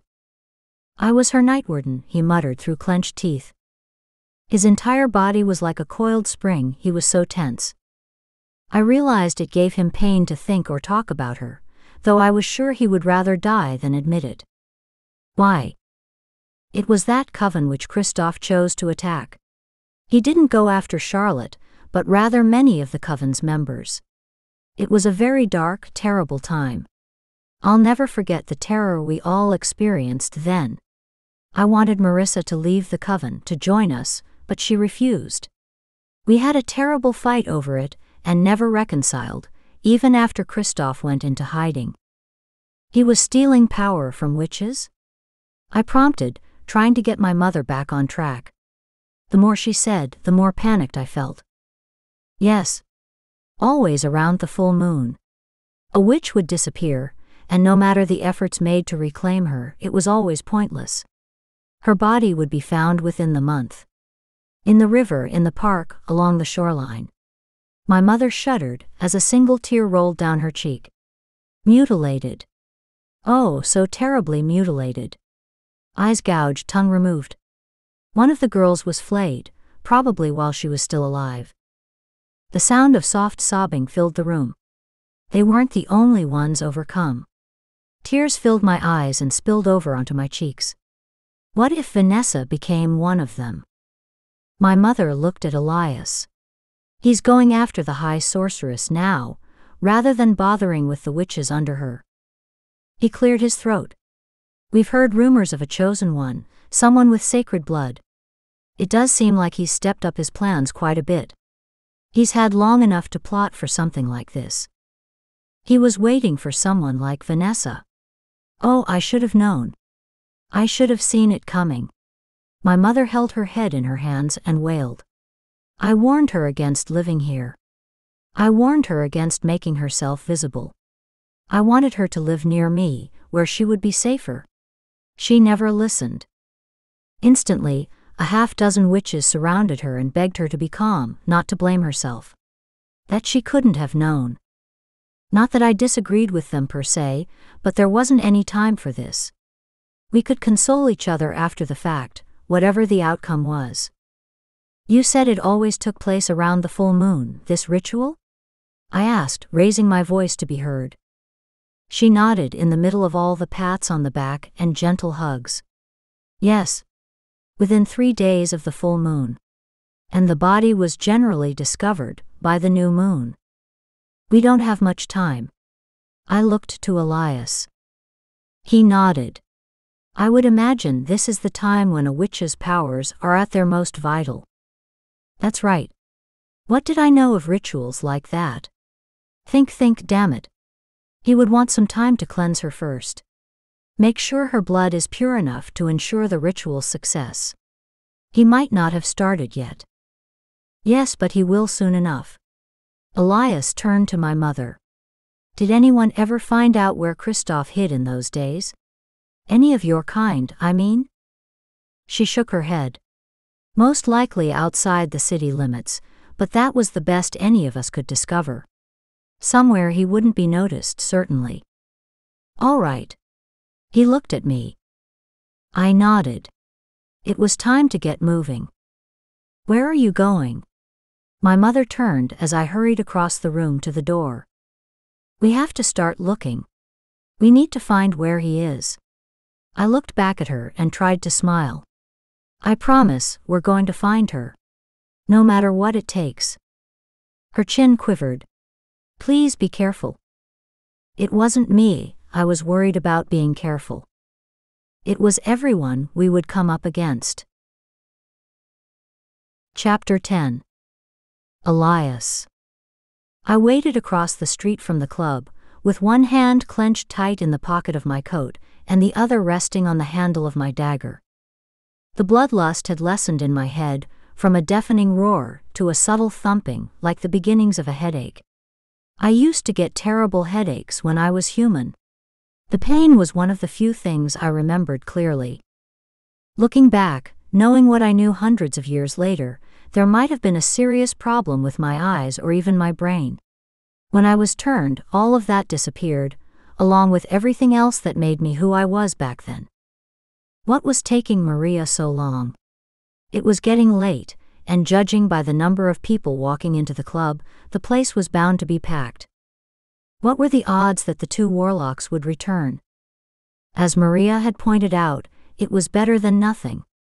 If they didn't come in, perhaps someone who knew them would. That was our best chance at finding out where Christoph did his filthy business. I pictured him in my mind. Tall, imperious, with snow white hair despite his relatively young age. As though something had shocked him terribly and turned it white in an instant, without a hint of color left behind. Eyes as black as midnight. Evil eyes. Eyes belonging to a creature with no understanding of right and wrong. The only thing he responded to was that which would benefit him in some way, never caring what it meant to those he used. I remembered that witch who was flayed. Henrietta. A beautiful thing. She had no skin when they found her, her mouth still open in a silent scream. I had never experienced agony like that. I couldn't imagine it. And I didn't want to. I pulled up the collar of my coat against the mist, which wouldn't stop blowing around. It had been an ugly sort of day all around. At least I blended into the shadows well. The people hurrying back and forth down the sidewalks weren't in the mood to notice the things around them in their haste, but that was the normal way of life in the fast paced century in which I'd found myself.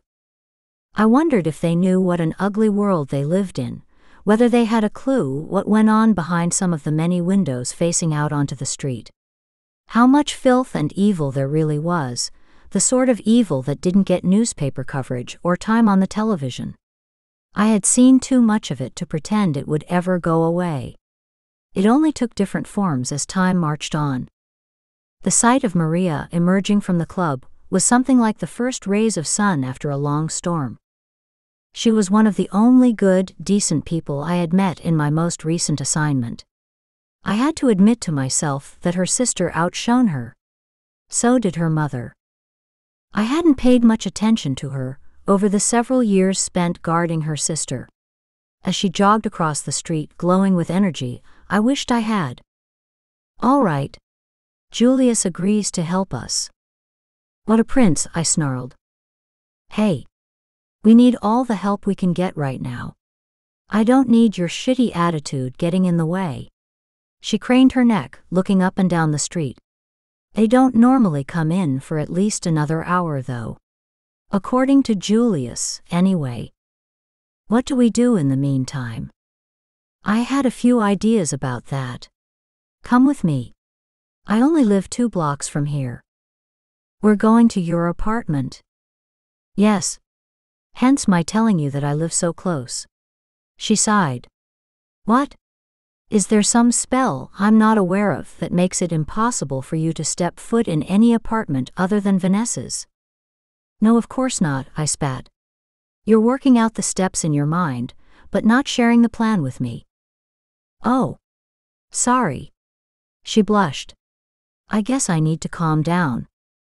I waved it off. Come on. What's the plan? Let's walk and talk. We left the alley I'd been hiding in and made a right, then another right at the first corner. As we walked, heads dipped low, hands in our pockets, she said, I figured I would go in and get a look at these two for myself, but I don't exactly look club ready at the moment. I look like a drowned rat. You don't think you'll stand out? I think I would stand out more looking the way I do now, she snorted. I didn't mean it that way. You and Vanessa look so much alike. You don't think they'll notice you, recognize the relationship? We stopped at a red light, and she looked up at me, her mouth open. Of course. And if they do recognize me and make it obvious that they do, we'll know we're on the right track. You're a genius. I shook my head. Not exactly where I was going with that. She seemed to be ignoring my comment. Then we work well together, she suggested, then cleared her throat loudly and switched gears as we continued across the street. At any rate, I have to spruce up a little so I'll blend in with the others. You could probably use a few minutes out of this nasty weather. The weather doesn't affect me, I scowled, pushing ahead. Don't you feel anything? Ever? Rarely. She shrugged and made a quick turn up the stairs of an unassuming brownstone building, one like so many others around it. You live here? I asked, looking at our surroundings. She was at the top of the stairs already and turned to look at me. Where did you expect? A cave? No. I expected something. Nicer. Yes. I'm sure. She waved me up the stairs, and I followed, keeping my eyes open the whole way for any suspicious movement in the deep shadows. I couldn't understand how she moved so freely and casually when she knew what horrors life held. Especially when she'd heard her mother's stories. I followed her up three flights of stairs and into her apartment. Compared to her sister's, it was a closet. One small room with a few pieces of furniture, no television, I noted, which was another way in which she and her sister differed. Vanessa lived to watch TV a small kitchen to the right of the front door with a bedroom beyond. Another bedroom to the left, and I assumed a bathroom just off that. Why do you live this way? I asked, turning in a slow circle as I took in the plants, the art on the walls, and the dozens of books. Maybe hundreds. They drew my eye, stretching from one end of the living room wall to the other. Live this way? You make it sound pretty dire, she grumbled as she marched to her room and closed the door. My sensitive ears could still pick up every move she made. The sound of her shoes hitting the floor. The heavy wet coat joining them. The zipper on her jeans as she lowered it. I only wonder when your mother and sister live so differently. I picked up one of the books at random. A biography of George Washington. Another of Abraham Lincoln. I had read about both of them. Granted, I remembered when Washington was still alive, though I had missed the Revolutionary War. Asleep far beneath the ground. More books. Art, history, fiction. A lot of fiction. Hemingway, Austen, Fitzgerald, Morrison. She had broad tastes. I enjoy your literary collection, I called out, flipping through the Washington biography. Oh. Thanks. You read? I need some way to fill my evenings. Right. I forgot. You don't sleep. Correct. I'm going to get in the shower, but it won't take long. Moments later, the sound of running water. I replaced the book and went to the windows. There were three in a row, all facing the street. Rain rolled down the panes and dripped from the leaves still on the trees. Mostly, the dead leaves collected in gutters stuck to the sidewalk. They stunk of death and rot, even from where I stood with the windows closed against the stench that only I and the few stray animals roaming the street could detect. From inside, surrounded by books and plants and flowers, it was almost difficult to imagine it being so bleak out there. I never had a problem imagining it in Vanessa's penthouse. One would assume the opposite would have been true, surrounded by luxury the way Vanessa was, looking out at the park and the tall, glistening buildings surrounding it. Most of the time, when I could see out the windows, I would imagine all the crime that was taking place down there the muggings and beatings and rapes. In a city the size of New York, in a place with plenty of seclusion, if one knew where to look, it was natural. Humans couldn't help themselves. One of the many things Charlotte and I used to talk about on our walks. I wondered what she would think if she could see the world as it was a century after her death. We thought it was bad back then, and it did have its negative points. But nothing compared to the present. No, she was too good for this time. It was better for her to lie in a crypt I had never been able to visit. It's a shame you don't have dry clothes, Mariya called out from behind her closed door. I won't catch cold, I reminded her. And I don't feel the weather. You don't feel anything, she asked. I was almost surprised that she sounded surprised. Weren't you ever acquainted with Cressida's Nightwarden? I turned away from the window. She was rubbing a towel over her body. I could hear the terry cloth sliding over her skin. My mouth went dry, and I licked my lips at the thought of what was under the clothes she had worn in the alley. When I crushed her body to mine, I could just imagine her slim waist and full hips, a firm derriere to go with the breasts I had come so close to touching. Desire unfurled deep in my core, the sort of desire I hadn't experienced in forever. Not very well. It's not as if you're allowed to get very personal with your charges, is it? No, but there's no rule about the sister of my charge. I swallowed hard and tried to blot out the dark, seething lust bubbling up in me, blotting out all rational thought. Are you still out there? she asked. Yes. I am. And I'm going to kick that door down and throw you to the floor and take you until you lose consciousness. I dug my claws into my palms, until I hissed at the breaking of my skin. But it didn't do much to calm my hunger. It had been so long since I felt a warm, writhing body beneath mine, and the tight, wet heat around my thrusting cock. For once, I needed to taste something other than blood. Like her skin, her lips. I turned back toward the window and willed myself to fight it off. There was far too much at stake for me to lose control at the worst possible moment. Vanessa must be terrified, wondering if I or anybody else would ever come for her. Who knew what Christoph was doing? What he was taunting her with? Or whether he'd bothered to inform her what his plans were at all. Maybe he was saving it for a surprise. I forced myself to picture Henrietta and her skinless silent scream. It helped. And at just the right moment, too, since Mariya stepped out of her bedroom. I watched her in the reflection in the windows the short black dress, the knee high boots. She shrugged into a denim jacket, which somehow was the perfect touch. She wore her long black hair in a knot on top of her head, and there was much more makeup on her face than I was used to seeing. It brought out her eyes, her high cheekbones, the creaminess of her skin. And when she slicked a shiny lipstick on her pouty lips, I almost groaned. She was nothing short of stunning. She turned her wide, innocent eyes on me, and I could have sworn a jolt of electric current ran through me. You ready? she asked, standing by the door. For the first time in forever, I wasn't entirely sure that I was. Chapter 11 Elias. She'd been in there for far too long. At least two hours. What was the problem?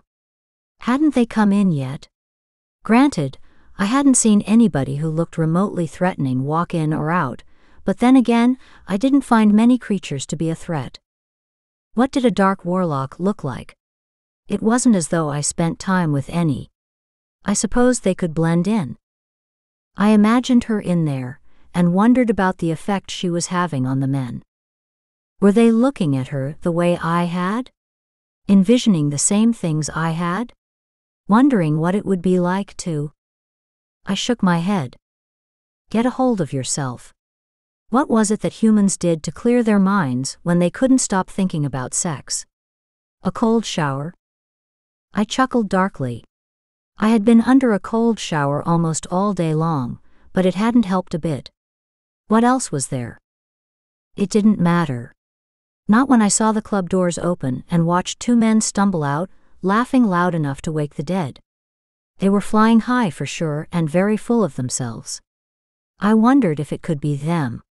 There was a nasty, angry note to their laughter that carried across the street to my waiting ears. No wonder they left with only each other to keep them company. I pitied the woman desperate enough to spend time with them, and I didn't know the first thing about them. Until Mariya left the club just behind them and locked eyes with me. I waited until they were roughly halfway down the block before crossing the street and falling into step behind her. Yes? I muttered, never taking my eyes from them. Yes? She practically ground her teeth together. Did you hear anything in there? Everything I needed to hear. There was real rage in her voice. She wanted to slaughter them as badly as I did. But we needed them. Once we had the information we were looking for, however, we didn't exchange another word as we trailed them. I listened hard to their conversation, but couldn't catch much to give an indication of where they were going. In an ideal situation, they would lead us straight to Christoph. I had long since stopped being naive enough to think they would make things that easy. All I wanted was a little time alone with them. They sense us, Mariya whispered. How do you know? I feel it. See the way their body language has changed. Sure enough, neither of them strutted and stumbled as they had when they first left the club. They walked like men struggling to shake off a drunken binge because they knew there was trouble heading for them. Like they were expecting us to pick their pockets. Can you put a spell on them? I asked as an idea dawned on me. Control them, I mean. And make them do what? Make them do what we want. So I can put them in a cab and take us someplace a little more intimate. Elias, she warned. What? You just sounded like you wanted to slice them open and rub salt in their wounds, I reminded her. This isn't the time for half measures. You're in or you're out. You know I'm in. Well? She made a small, frightened sound. Like an animal who knows it's cornered and wishes it wasn't. Mind control is extremely taxing. I don't know how much help I can be once we have them where you want them. Don't worry, I snarled, watching the two warlocks as they did everything they could to look casual. I won't need your help after that. All right. Here goes. She stopped in her tracks and raised both arms until they were straight in front of her, palms up. She closed her eyes and took a deep breath, humming low in the back of her throat. I looked ahead of us, to the warlocks. They didn't react at first, and I wondered if she wasn't as good as she thought she was. Then they slowed down. Almost as though they'd forgotten where they were going. Or like they had forgotten everything. When they stopped, I knew they were under her control. She opened her eyes. Let's go. Her voice sounded different. Strained. Like she was doing too many things at once. Mind control was taxing, and she was controlling two minds. Some instinct told me to take her arm and led her the rest of the way to where the warlocks waited. Let's get a cab, I suggested, raising my free arm. Up close, the two warlocks weren't any more impressive than they were from far away. Probably what made them so potentially dangerous. On the surface, they blended in. Nothing special about either of them. It was when they opened their mouths and let their vile beliefs spew out that it was easier to pick them out of a crowd. Not like Christoph. Something about the look of him automatically inspired distrust. I opened the back door to the first cab that pulled up to the curb and assisted the two helpless creatures into the back seat. Mariya sat beside them, while I sat in front with the driver. I didn't want her next to them, but I understood the reason. She'd control them better when she was closer to them. Where to? he asked, chewing hard on a toothpick. You know, I don't usually let people sit up front with me. Yes, well, I appreciate you making this exception. I gave him an address. He looked suspicious but shrugged good naturedly as he pulled away.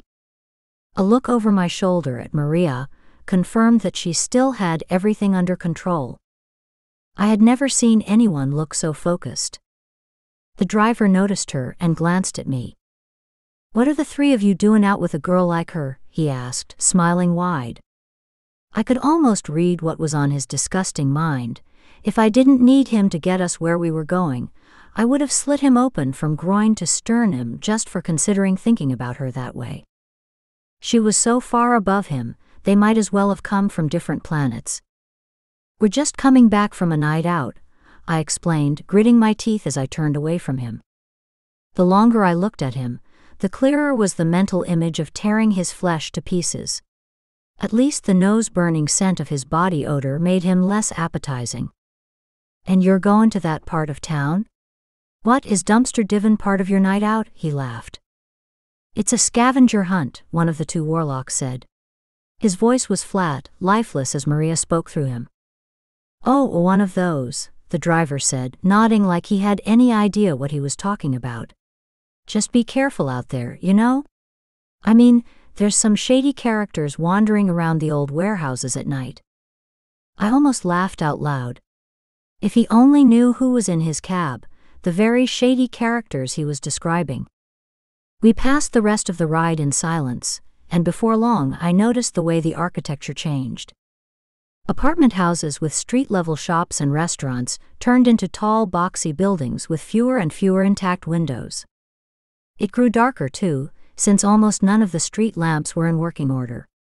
Now and then a shadow would move, indicating the presence of junkies looking for a fix. You sure about this? The driver asked once more as we pulled up to one of the last warehouses before the docks, which jutted out onto the river. Very. I looked back to Mariya, who handed over a wad of bills. I didn't know how much more she gave him than was necessary, she didn't have it in her to count the money, it seemed, but the man seemed overjoyed. Wow. Thanks, gorgeous. You sure you don't need me to hang around, wait for you guys? Looking for another tip, I guessed. No, thank you. I helped the warlocks out through the rear door, while Mariya stepped out behind the driver. They swayed on their feet, but that could be chalked up to drunkenness should the driver notice. I took their arms, and led them through the open doorway of one of the buildings. I was familiar with the area from the old days and knew none of the old warehouses and factories on that particular stretch of land were still in use. One of the few kind gestures Vanessa had made was allowing me to explore those areas, albeit from behind the windows of a car. This way, I grunted as I led them inside. Touching them was enough to make my skin crawl, but I pushed down the disgust they inspired. They knew where Vanessa was. It took all my self control to keep from yelling at them, demanding the truth of her whereabouts. A truth I wasn't sure they would give up easily. I was counting on it. I even looked forward to it. I tossed the two of them to the floor, and they fell like sacks of grain. No effort to resist. Mariya stood beside me, barely breathing. I hurried then, sensing how hard she was struggling to keep them under control. I helped out with two zip ties around the ankles, two around the wrists. Does this make it easier for you? I asked when I straightened up and looked down on them. Somewhat. She visibly relaxed, but not entirely. I have to keep them from casting spells to escape, or using any sort of psychic connection to contact Christoph or others like them. And there were bound to be others. I looked back at them and saw them blinking hard, shaking their heads. One of them snarled. What is this? His eyes darted back and forth between Mariya and me. What's your name? I asked. He opened his mouth in an ugly snarl, but whatever he intended to hurl at me didn't come out. His face showed surprise, then frustration. Jeremiah, he said haltingly, like some outside force was making him speak. Which it was, Mariya. His friend struggled against the restraints. You think this can hold us? he spat. Right. I would start with him. A swift kick to his kidneys made him curl up in agony. I relished the sound of his groans as I rolled him onto his back and crouched over him, one knee on either side of his ribs. Open your eyes, I commanded, one hand on the blade of my dagger. He refused, as I knew he would. Anticipation mixed with adrenaline, but it was still important to keep myself focused. I withdrew the dagger, but only held it in my hand. It was sturdy, strangely warm. His eyes bulged for just a second at the sight of it before he turned his expression to stone, but it was long enough for me to notice. Let's try being polite, I whispered almost like a caress. What's your name? Fuck off, he spat. Without Mariya in his head, he could pretend to be a tough guy. But that was all he was doing, pretending. That's fine. I don't need to know anything about you to do this. I drew the blade down the length of his face, from temple to jawline, and blood began to ooze. He hissed and tried to buck me off. I pressed my knees into his ribs to calm him down, then chuckled. If you think that was bad, you're in for a terrible time. I looked over at his friend, Jeremiah. Does this look like fun to you? He turned his head away. No. I barked, and it echoed through the empty space. You do not get to look away. Remember when you couldn't control yourself earlier? I'll make you watch. You won't have a choice. And if you try to close your eyes, I'll slice off your eyelids. Slowly, his head swiveled back in my direction. His friend, the one beneath me, whimpered softly. What do you want to know? he asked. Now we're getting somewhere. I turned my attention to him, waving the blade close to his face as I spoke. His blood was on it, the same blood which oozed down the side of his face and into his wavy brown hair. I gritted my teeth and commanded myself to ignore it.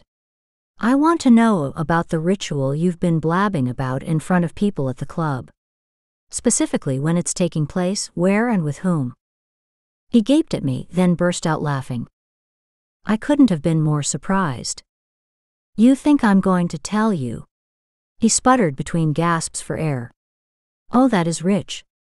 I've always heard that vampires are stupid, pathetic creatures, but this. I never broke eye contact, as I cut off his right ear with a light flick of my dagger. I watched with intense satisfaction as his eyes flew wide open before he howled in shock and pain. I pointedly avoided looking at the rich flow of blood over the side of his head, while picking up the ear off the dirty floor and holding it up for him to see. The scent of his blood, pumping fast and full thanks to his racing heart, made me a little high. It took effort to keep myself thinking clearly. The image of Vanessa's face did it. Any more opinions you'd like to share before telling me what I want to know? I asked, dangling the ear in front of his eyes. He screamed and bucked harder than ever, which gave me no choice but to dig my knees into his ribs in hard, sharp jabs until he gasped for breath. The sound of his snapping bones filled me with almost unbearable pleasure. I'll cut your damned eyeballs out if you don't tell me what I want to know right now. Right this very moment. I glanced at Jeremiah, who blubbered like a baby, then tossed the ear his way. He screamed and tried to dodge it, but it landed on his chest with a satisfying splat. I can't tell you, my nameless one eared captive wailed. He'll kill me, I'll make you watch your heart beat its last before I cut out your eyes. My face was inches from his. The desire to gulp down his blood was almost overwhelming. I fought through it and held the point of the dagger against his chest. Come on. Give me an excuse. He's in an old hotel down in Atlantic City. Jeremiah wailed. Please stop this. Let us go. Who is? I asked, looking down at the other one. Christoph, he whimpered. An old abandoned place. Would have been torn down, but there's a bunch of spells and protection wards on it. That's where he lives, that's where we all gather. That's where she is. She? Mariya snapped.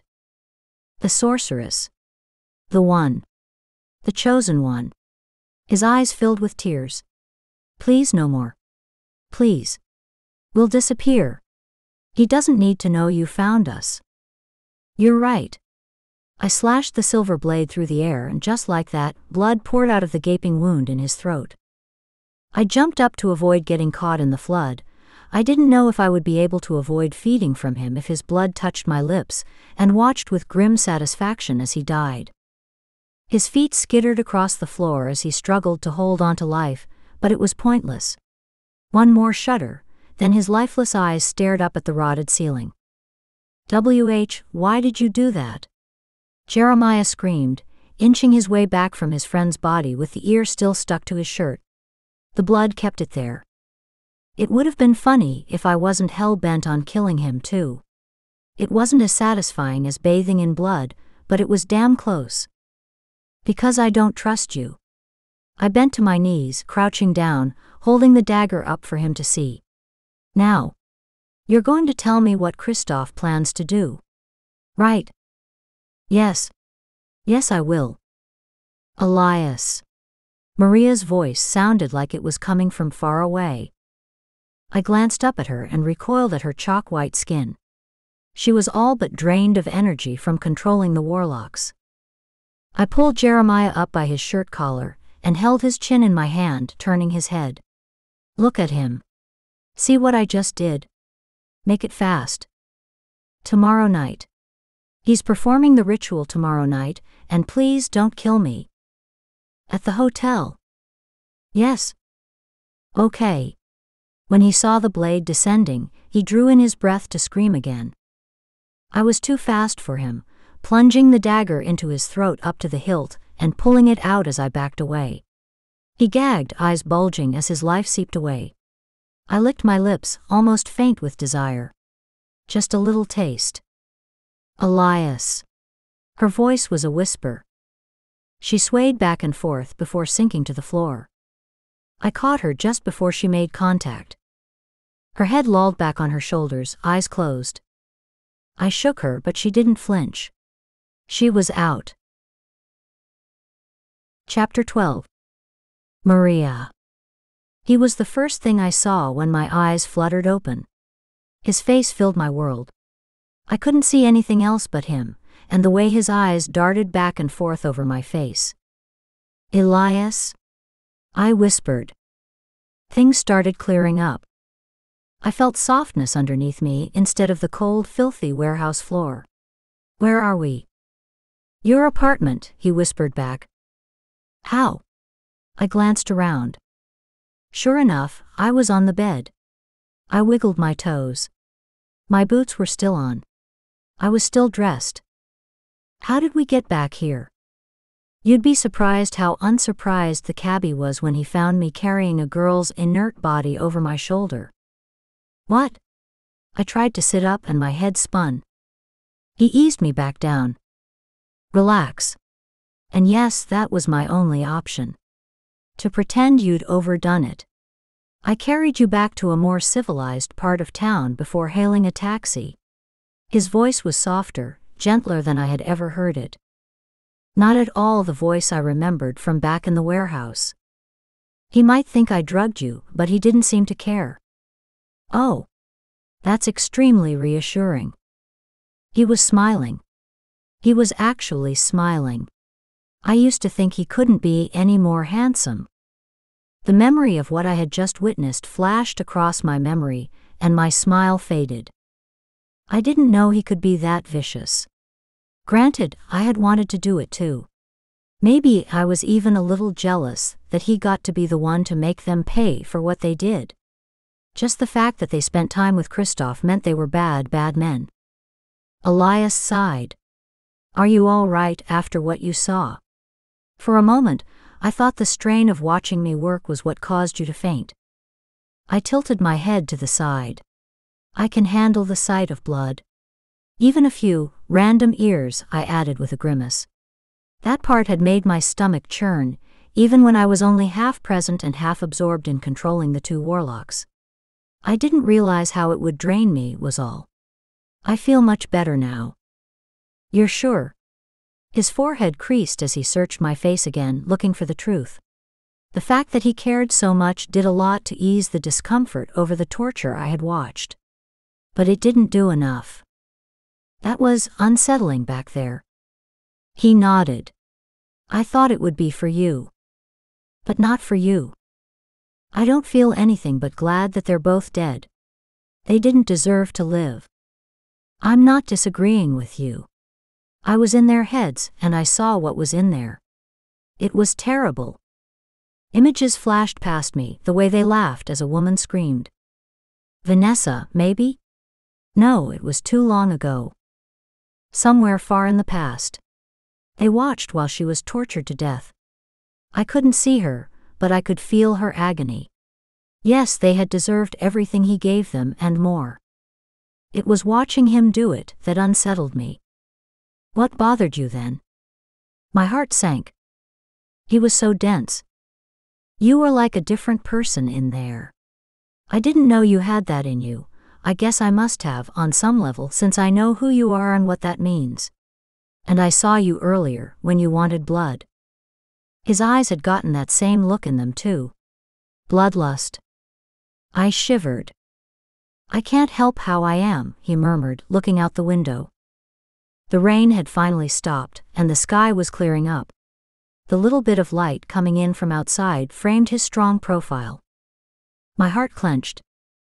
He would never understand. I know that. I'm not saying you're bad. Just that I'm not used to seeing you that way. That's all. It's the strangest thing, he said, shaking his head. When you fainted, and I caught you and I looked down at you and thought it might be my fault for making you do it.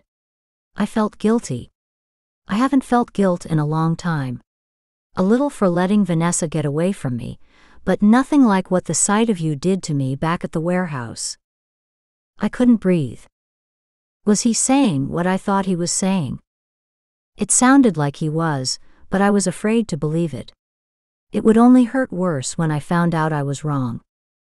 He was clueless. He didn't feel emotions the way I did. He had no idea I had been in love with him from the moment my sister woke him up. I tried to smile. You didn't need to feel that way. As I said, I'm all right. It wasn't your fault. That doesn't change what I went through. How concerned I was for you. He looked down at me, and I stopped breathing again.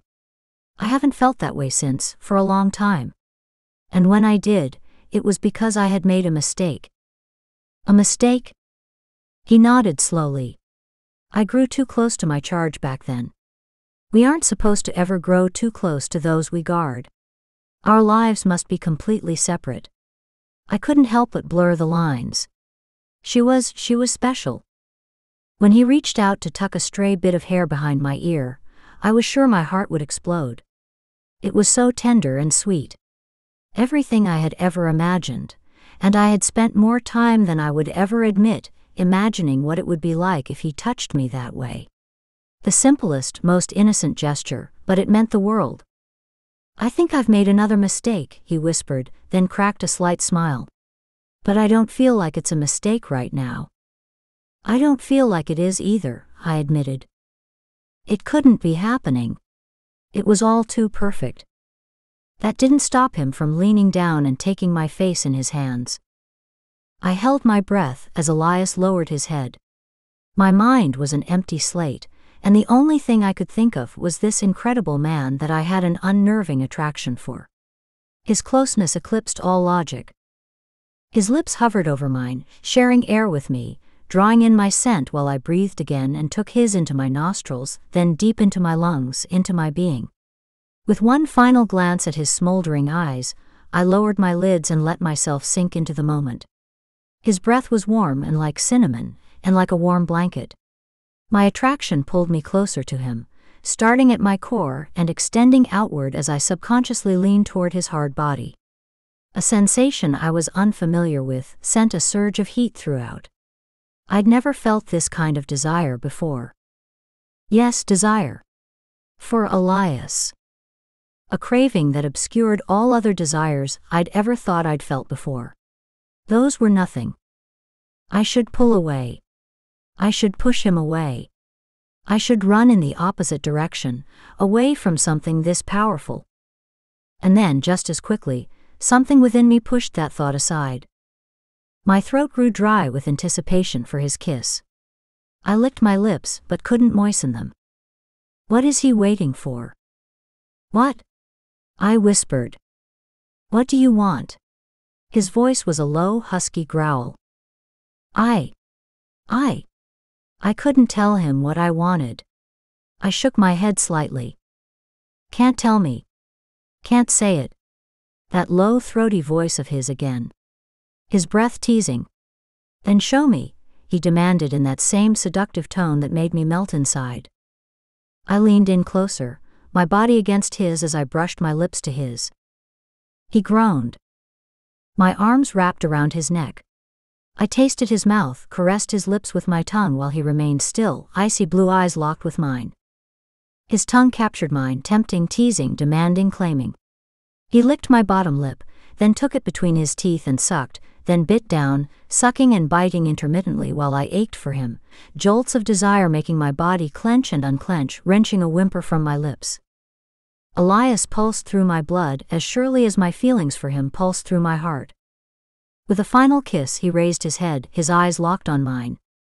I needed to know. I exhaled slowly. It'll be dawn soon, he murmured as he looked out the window. And we have to get out to Atlantic City. I know. I can't imagine what we'll find there. The magic of the last few minutes was gone. I had never gone through an entire range of such extreme emotion in such a short time. I could still almost feel his lips on mine, my body quivered and pulsed with desire for him, but my mood had already gone dark. Is it wrong? What we feel? He turned to me with one eyebrow raised, and my heart skipped a beat. With the early morning light on his face, he was the most beautiful thing I had ever seen. Isn't it a little late for second thoughts? I shook my head. Not what we feel, but that it's now while Vanessa is still out there with Christoph. It feels disloyal. He came back to me and sat down, then pulled me into his embrace. I closed my eyes and let myself sink into it. You've been nothing but loyal your entire life, he murmured. I saw you exhaust yourself to the point of unconsciousness to help me question those two last night. You put yourself in jeopardy for her. You've done nothing but sacrifice for years.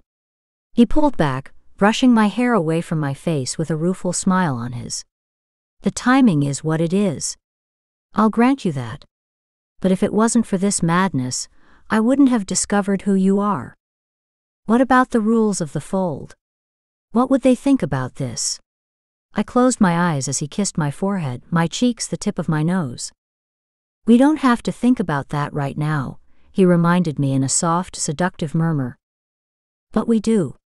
I pulled away with a groan. Please. You don't know how much I've wanted this to happen. It's like something out of a dream, the best dream I ever had. I don't want to break it up. But my heart is too heavy. When this is over, when we find my sister, what happens? Realistically. He sighed. Realistically. This could only go one of two ways. Either we find your sister alive and unharmed, and life goes on the way it was before, with me living as I do and you living as you do. Or, I asked with a sinking heart. He stroked my cheek with the back of his fingers. Or it's already too late by the time we find her. Then I go back to the fold, and another high sorceress wakes me up in a hundred years, once your sister's blood has fully left my system. Tears filled my eyes. I would be alive still then if luck was on my side. But I would be old, too old. He would still be young, handsome, vital. And imprinted on another witch. Not me. Never me. It all seems so pointless, I choked out. He took my hands in his. Maybe this is all there is then. Right now. We're not human, we don't get the happily ever after fairy tale ending. We take what we can while we can, and right now I want you. I don't want to waste a minute of this time together. And so I gave in to his kiss, because there was no way to argue with that logic. And I didn't want to. I wanted him for as long as I could have him, because I might have to live on the memories for another hundred years. Chapter 13 Elias. I shook my head in disbelief. This is all so different. I can't stop noticing all the differences. All the concrete, all the boxy buildings where there used to be farms. Mariya snorted from her seat behind the wheel of the car. I can't imagine. It's one thing to live through a lot of changes, but going to sleep with the world looking one way and waking up to something so different must be tough to process. Tough. It's damn near impossible. When I first saw the jet plane that would take us from the cells back to New York, I couldn't believe my eyes. I couldn't believe any of it. I was wondering about that at the time. As we left the fold. Well, first, I worried about the Ra protection whether the spell worked. If you would be all right in the sunlight. I looked down at my hands, where the sunlight beat down on them through the car windows. It's still holding up, I murmured. That's a relief. I had worried about that, when the bloodlust took you, I mean. Not being close to Vanessa, the spell's power lessening. I hoped that wouldn't be the case with every spell she cast that day. It doesn't seem to be. The sun didn't affect me any more than it normally would. I felt a tingling sensation, but it was almost pleasant. Nothing like what would normally happen to a vampire in the sun. I had watched one of my brethren suffer the agony of burning to death, screaming, shrieking, begging for help while his skin bubbled in seething blisters before turning black and flaking off, revealing the flesh beneath.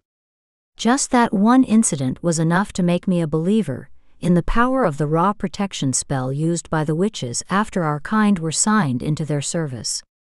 It was even named after the ancient Egyptian sun god. I wondered if it had been around since those times. The car was comfortable, though still not as flashy or luxurious as the car Vanessa used. And Mariya drove herself. Just another difference.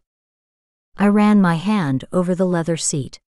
Why do you drive yourself when none of the other members of your coven do? She raised a brow. You're familiar with the rest of the coven? I've been to enough coven gatherings to know what I know. I've seen other members arriving in their cars, always driven by others in their service. She shrugged. I've never enjoyed that. Being doted on. I would rather take care of myself. Is that why you spend so much of your time in the city? Her fingers tapped along the outside of the steering wheel while her teeth dug into her bottom lip. Most people live in the city and take their weekends or free time out in the country. I do the opposite. The city is where I go to clear my head and think rationally. I wish I could explain the feeling of not fitting into the life those like you are living. Something like that. Yes. Vanessa is the same, one of the few ways in which we think alike, she chuckled.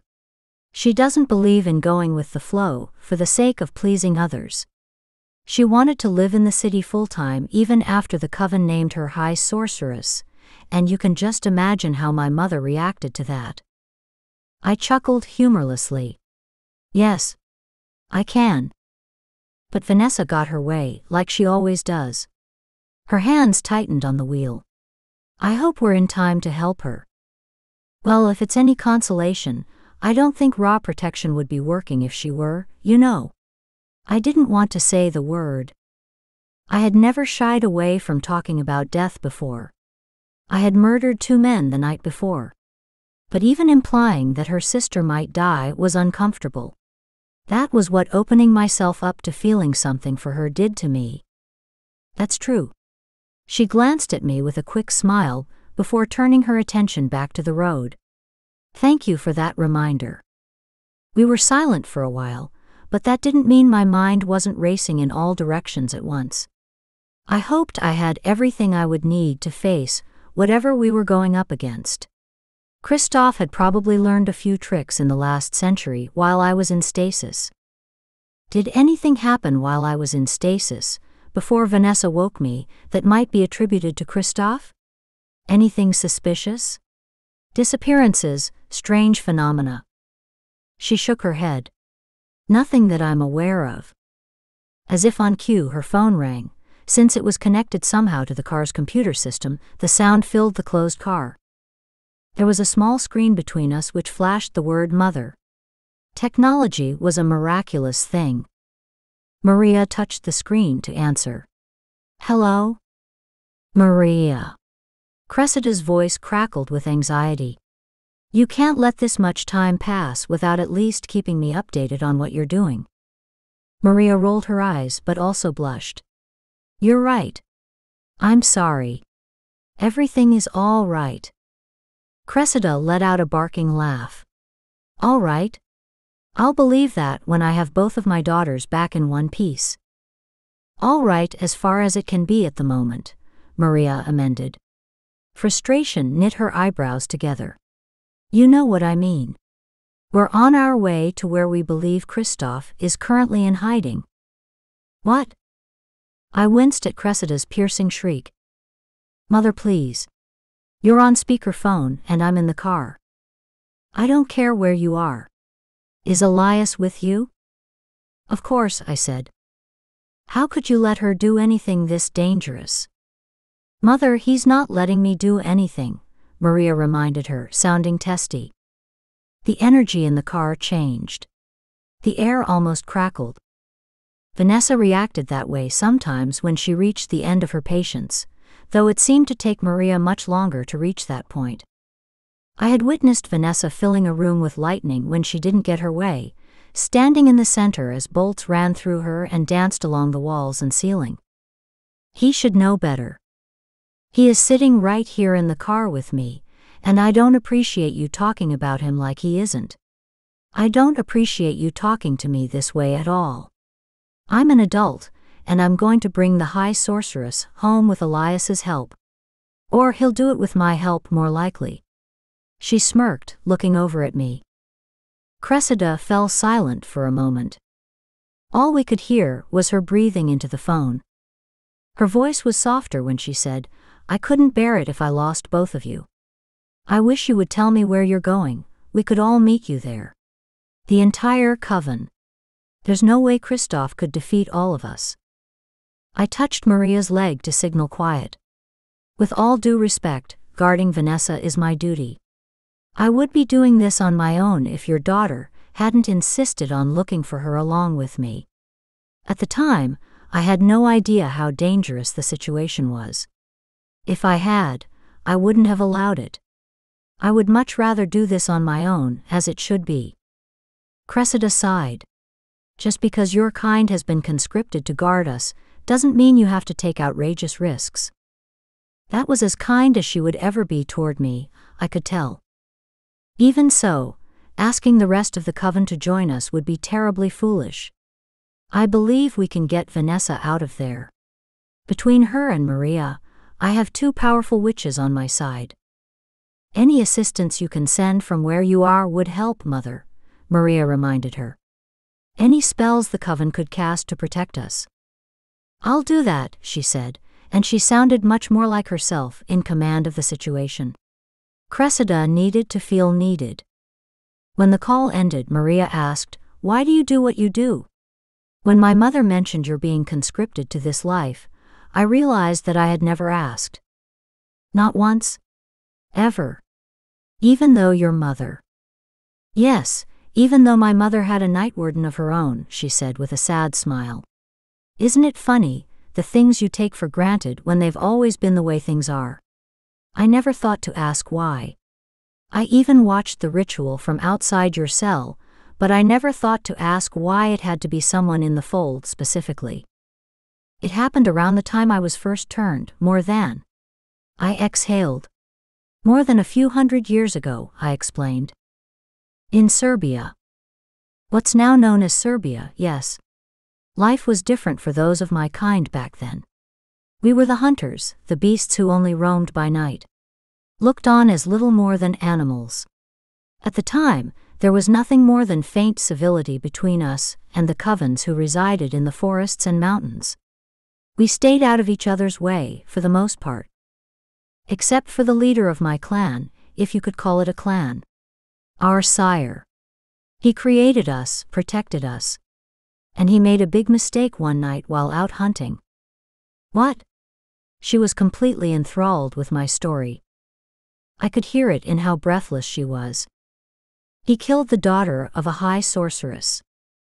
Oh no. Oh yes. It was a grim time, I said, shaking my head at the memory. The sorceress was ready to kill all of us in retaliation.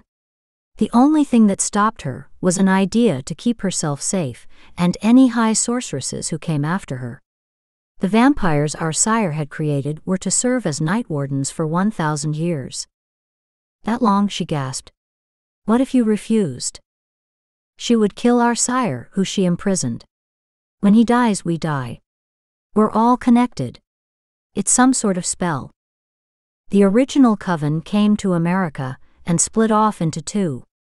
That much I know, she said. Right. But since those covens both originated from the first, we have to serve both. And any other that are spawned or split off from the original. She shook her head. I don't think I ever really understood until now that you're, she paused, then cleared her throat.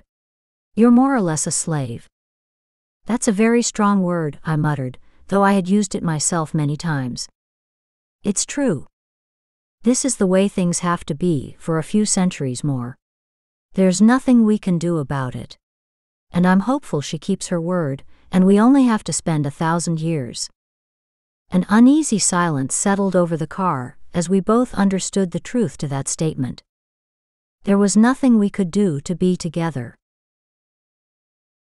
Chapter 14 Mariya. It was always interesting to me how humans looked right through things they didn't feel like noticing. Like the hotel at the end of the beach, where it loomed over the rocky shore like a castle in some old horror movie. If lightning had zigzagged out of a clear blue sky and struck one of the many pointed roofs, I wouldn't have been surprised. It would have completed the look. How is it still standing? Compared to the shining casinos with their blinking lights, the hotel was an eyesore. Not that I thought the more modern buildings were beautiful, they looked cheap and fake and me, the way a lot of architecture did from this time, but they at least looked as though a person would live through a trip inside. It had once been a crown jewel, that much was obvious.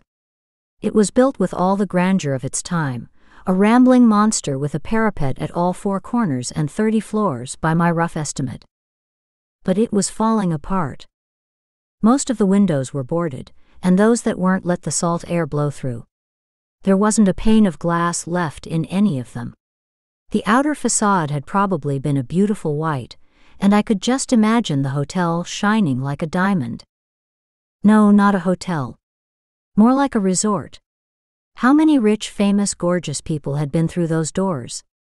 They were probably all as rotten by then, too. The salt spray had turned the walls gray, cracked, and broken. Plaster had come off in big chunks, revealing the slats underneath.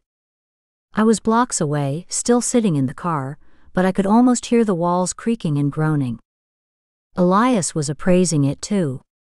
It's like the old beauty where the coven meets, he muttered. Humans only see what they want to and ignore the rest. I'm sure they think about this place every once in a while and wonder why it's still standing, but they don't do anything about it. I'm sure Christoph had something to do with it, I reminded him. The way we do. Making sure the building fades into the background, while he does his dirty business inside. His voice was a nasty growl. I pulled my eyes from the hotel where my sister was imprisoned. How would we find her in all those rooms, to look at him? How do you want to do this? I asked. As quickly as possible. I snorted despite the almost painful tension. Be serious. I am. He shifted his strong body until he was facing me and took my hands. His were slightly cold, as always, but the blood pumping hard and fast through my veins would probably heat them. I need you to understand what we're going up against in there. You've never seen Christoph for yourself. You have? I stared. You never said. It never came up, he pointed out. Yes, I've seen him. I've been face to face with him, and I can tell you he's beyond humanity. There's nothing left of anything resembling kindness or empathy. I want you to be prepared for what you might find. You have me picturing sacrifice rooms lined with bones, said with a nervous laugh. You might not be too far off. I gulped, suddenly nauseated. We have to hurry, I said, ready to turn and get out of the car and run straight to the crumbling hotel. But Elias held me firmly in place. That's what he'll expect, for us to be in such a panic that we won't think before rushing to her rescue. He takes pride in his intelligence as well as his heartlessness. He'll stop at nothing to have what he wants. I understand that. Why were we wasting time? If he remembers me and sees there's anything between the two of us, he'll use you against me. I'm sure of that. How can you be so sure? Because he's done it before. His expression hardened, and all the tenderness in his eyes turned to bitterness. To you. He nodded slowly. Do you remember your mother talking about the witch I lost? Yes, they burned her at the stake. That wasn't who Cressida was referring to. His eyes shifted up over my shoulder, staring into the past. He didn't kill her outright. Charlotte. He wasn't able to get close enough to her. I made sure of that, and he knew he was outmatched between my skills and Charlotte's abilities to defend herself. But he managed one last spell before he disappeared. His voice was flat, but I could still hear the pain in it pain he had carried for so long. What did he do? He made her sick. We didn't know it at first. It took weeks to develop, and there was nothing to be done about it. Trust me, the coven tried everything. Even conventional human medicine. What did she have? Consumption, or rather tuberculosis. It ravaged her. I never left her side over the course of it, and by the end she died in my arms. Coughing up blood. Choking on it. To this day, I can't get over the twisted nature of it. Making her choke on her blood when he knew I needed that blood to keep our connection, to stay alive. I had to rely on animal blood to feed on, because her blood was tainted. But that did nothing for our connection. I felt everything she felt. He probably knew that too. He's pure evil. You loved her, I whispered. I did. Then. And I let her die. That wasn't your fault. You might be surprised, but there are many others who don't share that opinion. I let him get close enough to her to hurt her. Had I been smarter, had I known exactly who I was dealing with, things would have turned out differently. I only thought he was vicious and animal. I didn't know at the time that he was deliberately cruel, too. I'm sorry for all of that. I didn't know what else to say, but I felt like I had to say something or else seem uncaring. You see why I'm worried then. Because if he senses a connection, he'll want to use it. So if I'm in trouble, you need to promise you won't try to help me. That's impossible. I can't promise that. You have to, or you won't come in with me. You can't stop me. I have ways of subduing you and keeping you restrained. I winked. Don't get me excited just before we're about to do something so important. His eyes narrowed as he frowned. Mariya, this is serious. I grew serious. You have another thing coming if you think I'll let you go in alone. I can throw a spell at you faster than you can do anything to subdue me. As for acting like there's nothing between us, I can do my best, if the alternative is you leaving me locked in the trunk. He sighed. It doesn't look like I have much of a choice, either. You're extremely perceptive. And I love you. His eyes widened. He was just as surprised as I was. I didn't mean for it to come out like that. Once it did, everything spilled out. Maybe I was afraid of never getting a second chance. I've been in love with you since the minute Vanessa woke you in your cell. I stood outside and watched the ritual, and I hated her guts. I honestly hated my sister because you would be her Nightwarden. And she would never appreciate you, because she never appreciated anything. And now I might lose you because we have to get her out of there. And I don't know how I feel about that. Tears filled my eyes and my chin quivered. I'm a terrible person, aren't I? Because I feel like this. His face fell as he touched my cheek, my hair. No. You're not terrible. But just think, we never would have found each other either. And there would always be an obstacle in our way. I could only be around you, as long as Vanessa was high sorceress. That wouldn't last forever. I smiled. Not true. Remember, she's never leaving the position. He winced. I forgot. Lucky me. I laughed softly, leaning my head against his palm. She's a challenge. But I love her. I know. He looked out through the windshield toward the hotel.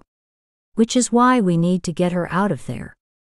I did everything I could to hide the way my heart was breaking. We were slipping away, and there was nothing I could do to stop it. Let's go then, I agreed in a choked whisper. There's just one more thing. What's that? He leaned in until we were almost nose to nose and took my face in his hands, burying his fingers in my hair. I love you. Chapter 15 Elias. You're sure the spell is working? I asked as we walked hand in hand down the cracked, crumbling sidewalk. The entire lot surrounding the hotel was in shambles, overgrown and forgotten. Broken glass sparkled like glitter under the sun. I scanned the scene, eyes sweeping back and forth over everything for signs of movement. I'm sure of it. Just don't let go of my hand, or you'll seem to appear out of thin air to others. Her voice was tight from the effort of keeping us invisible as we approached. Do you feel her? Is she in there? I haven't felt her since she disappeared, I admitted, looking at the boarded windows and wondering which one she was behind. There were so many. There must be an enchantment, something he cast over the property so I wouldn't be able to sense her. That makes sense. I can feel the energy. Can't you? I could. Like a cloud surrounding the grounds. Layer after layer of protection against the rest of the world. It's there, I agreed. Will we be able to get through? We will. She didn't elaborate. I didn't want to risk breaking her concentration, so I left it up to her. I needed to concentrate on what we would find once we were inside anyway. How many did he have with him? What were they capable of? I didn't doubt Mariya could handle herself, no matter how many of them came our way, and I would gladly rip apart anybody who decided to test their luck with me. It had been a long time since I had the pleasure of killing somebody who really deserved it. The two in the warehouse had only served to whet my appetite. We made it down the pathway to the wide double doors, sidestepping the weeds that grew through the cracked cement as tall as young trees. She squeezed my hand.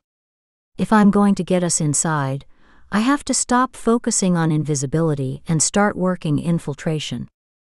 So, we became visible. Mariya dropped my hand and lifted both of hers. The fog around the hotel felt a little thinner, like a veil was lifting or wind was blowing things out of the way.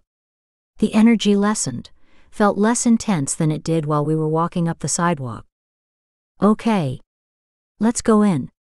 She looked at me, and the thing that stood out most was the complete lack of fear in her eyes. They were like steel. Completely determined. I had never loved anyone or anything in my long life as I loved her at that moment. We stepped into one of the more depressing, chilling scenes I had ever witnessed.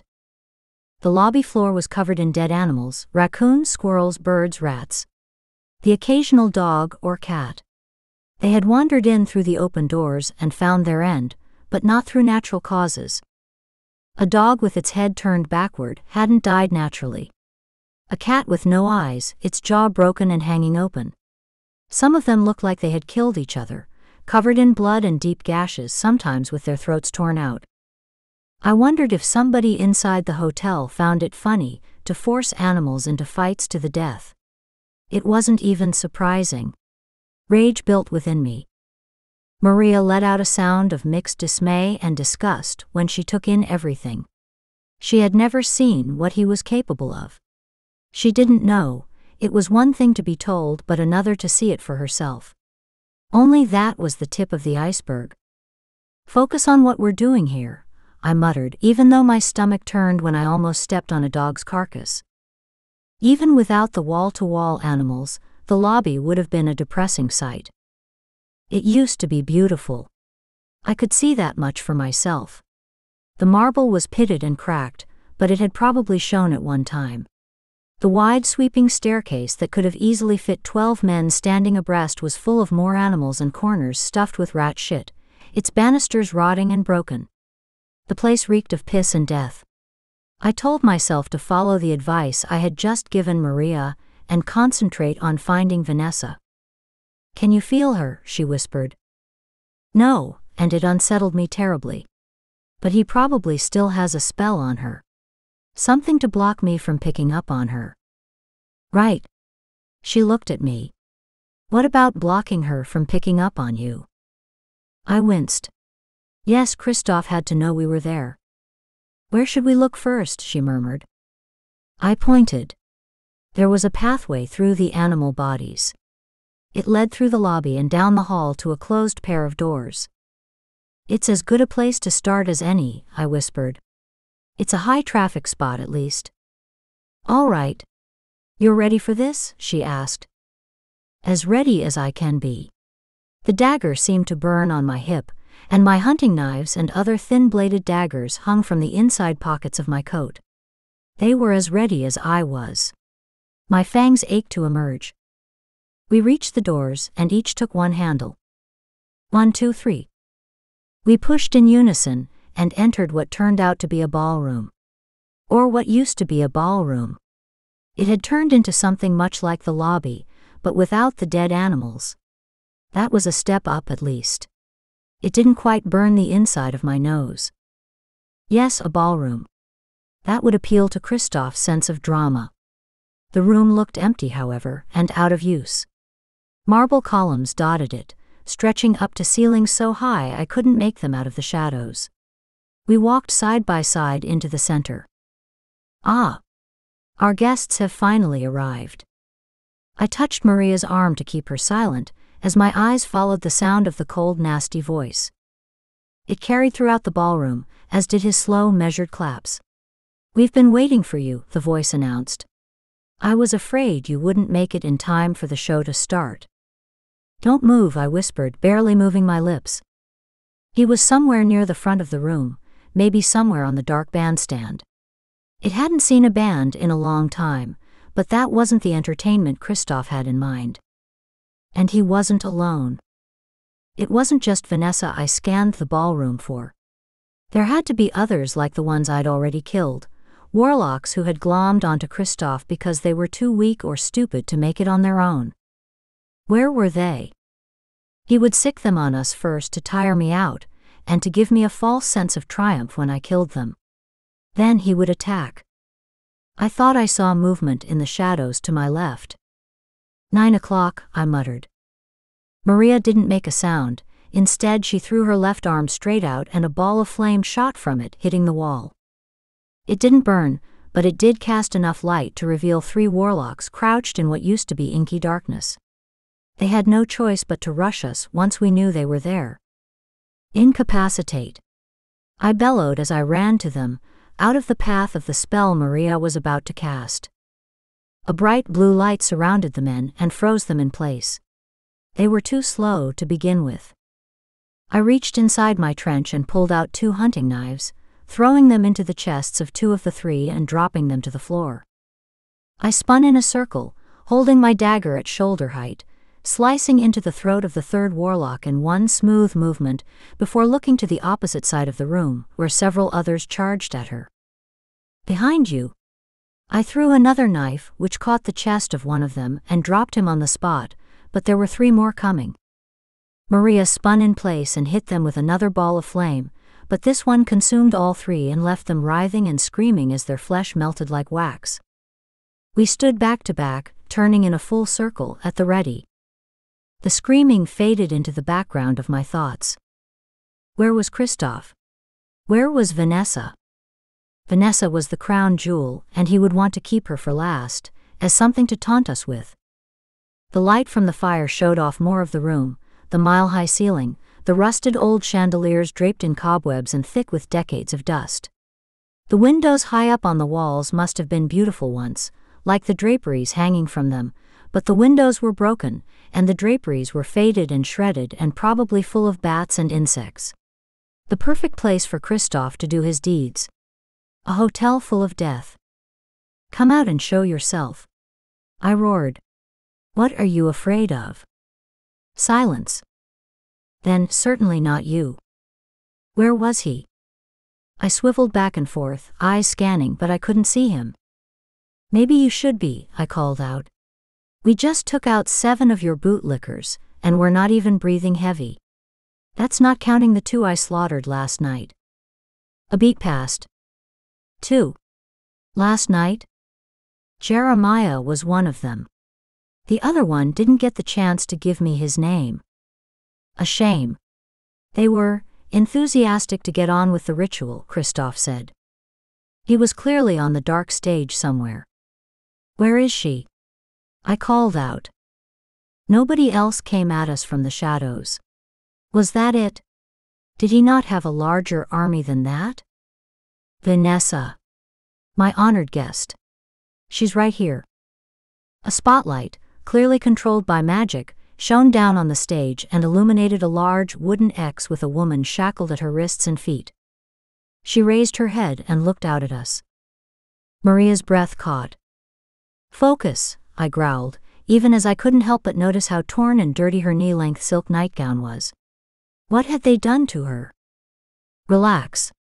It was as if Christoph read my mind. I've made sure she stays clean, meaning none of my men were allowed to touch her. These last two days have cleansed her. Pain has a cleansing effect. What does that mean? Mariya asked. I wished she hadn't said a word. Who's this? Christoph stepped out and some of the light fell on him. He hadn't aged a day, his dark magic worked well. His hair was still supernaturally white, slicked back away from his smooth high forehead. His eyes reminded me of obsidian, even from far away they burned into me. Then into Mariya. He strode across the stage like he owned it. Oh. You look just like your sister. You must be Mariya. I've heard a lot about you. I can't imagine why, she said. I sensed the tension coming from her. She was wound tight, ready to spring. You're the less talented sister of the chosen one, he sneered. I suppose that isn't easy for you to hear. She shrugged. Wouldn't be the first time. His brows knitted together when he frowned. He enjoyed playing mind games, finding weaknesses and exploiting them. I could have told him Mariya wouldn't be that easy. I'm glad you two could make it, he said, bouncing back. It's always better to have an audience for something like this. His heels clicked against the wood planks as he walked back to where Vanessa waited. You'll be able to perform your ritual without your friends here to help you? I asked, arms spread. You seem lonely now. I don't need anyone but myself. I never have. He touched one of Vanessa's long curls. I remembered how she had curled her hair for the coven meeting, and how frustrated I was with her stalling. Now it was lank and dirty. She flinched away from him. He snickered. You need no one but yourself, yet you've been repeating this ridiculous ritual again and again for decades. What? Afraid you won't be able to cast a spell without stealing another witch's powers? I took a step forward, placing myself in front of Mariya. It was a mistake. There I was, thinking she would give us away when my instincts were what did it.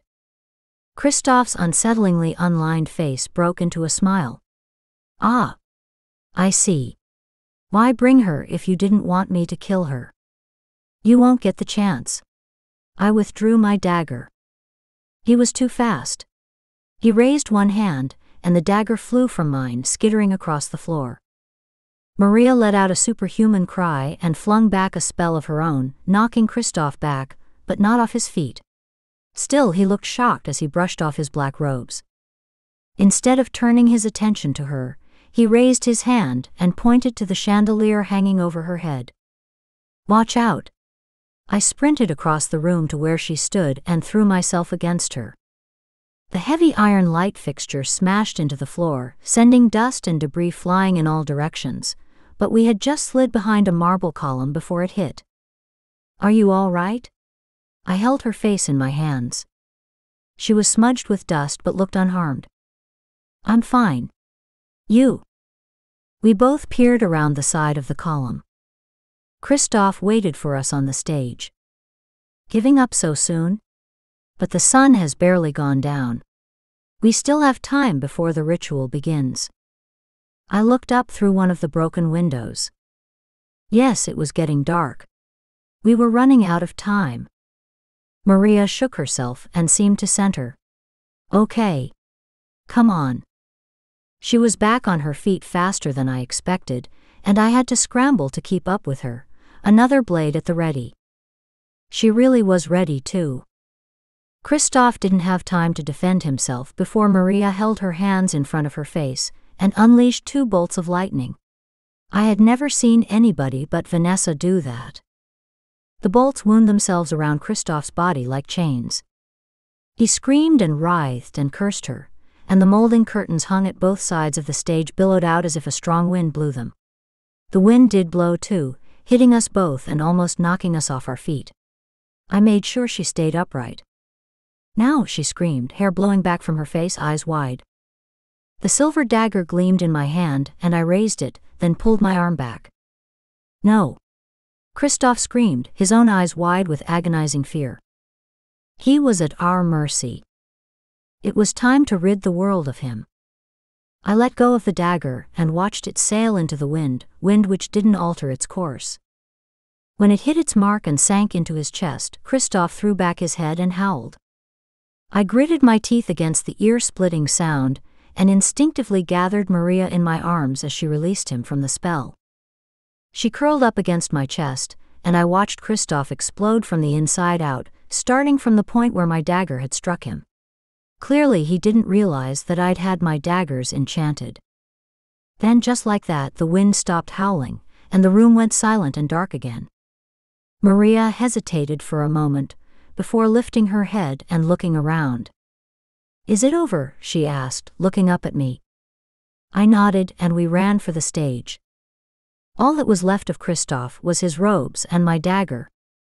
I picked it up and wiped it on the black velvet, then used it to cut the restraints holding Vanessa in place.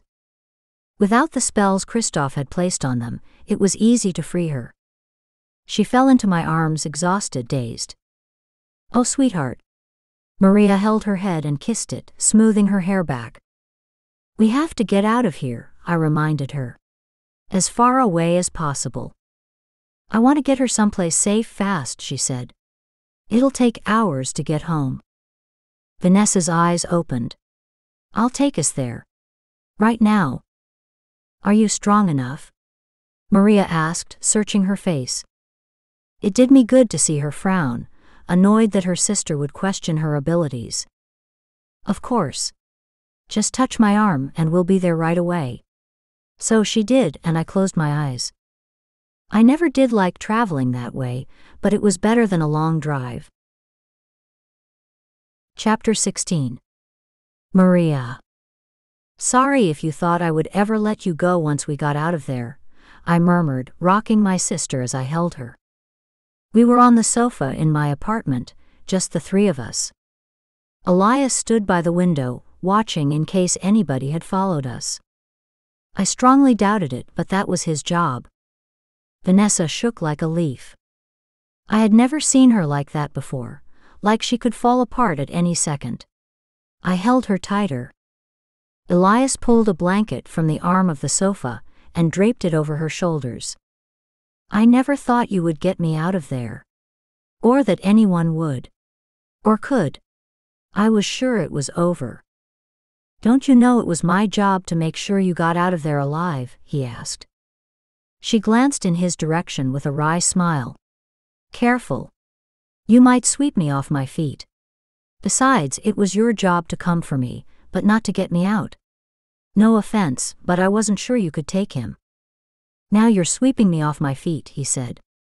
I had help too. She did everything. His gaze locked with mine.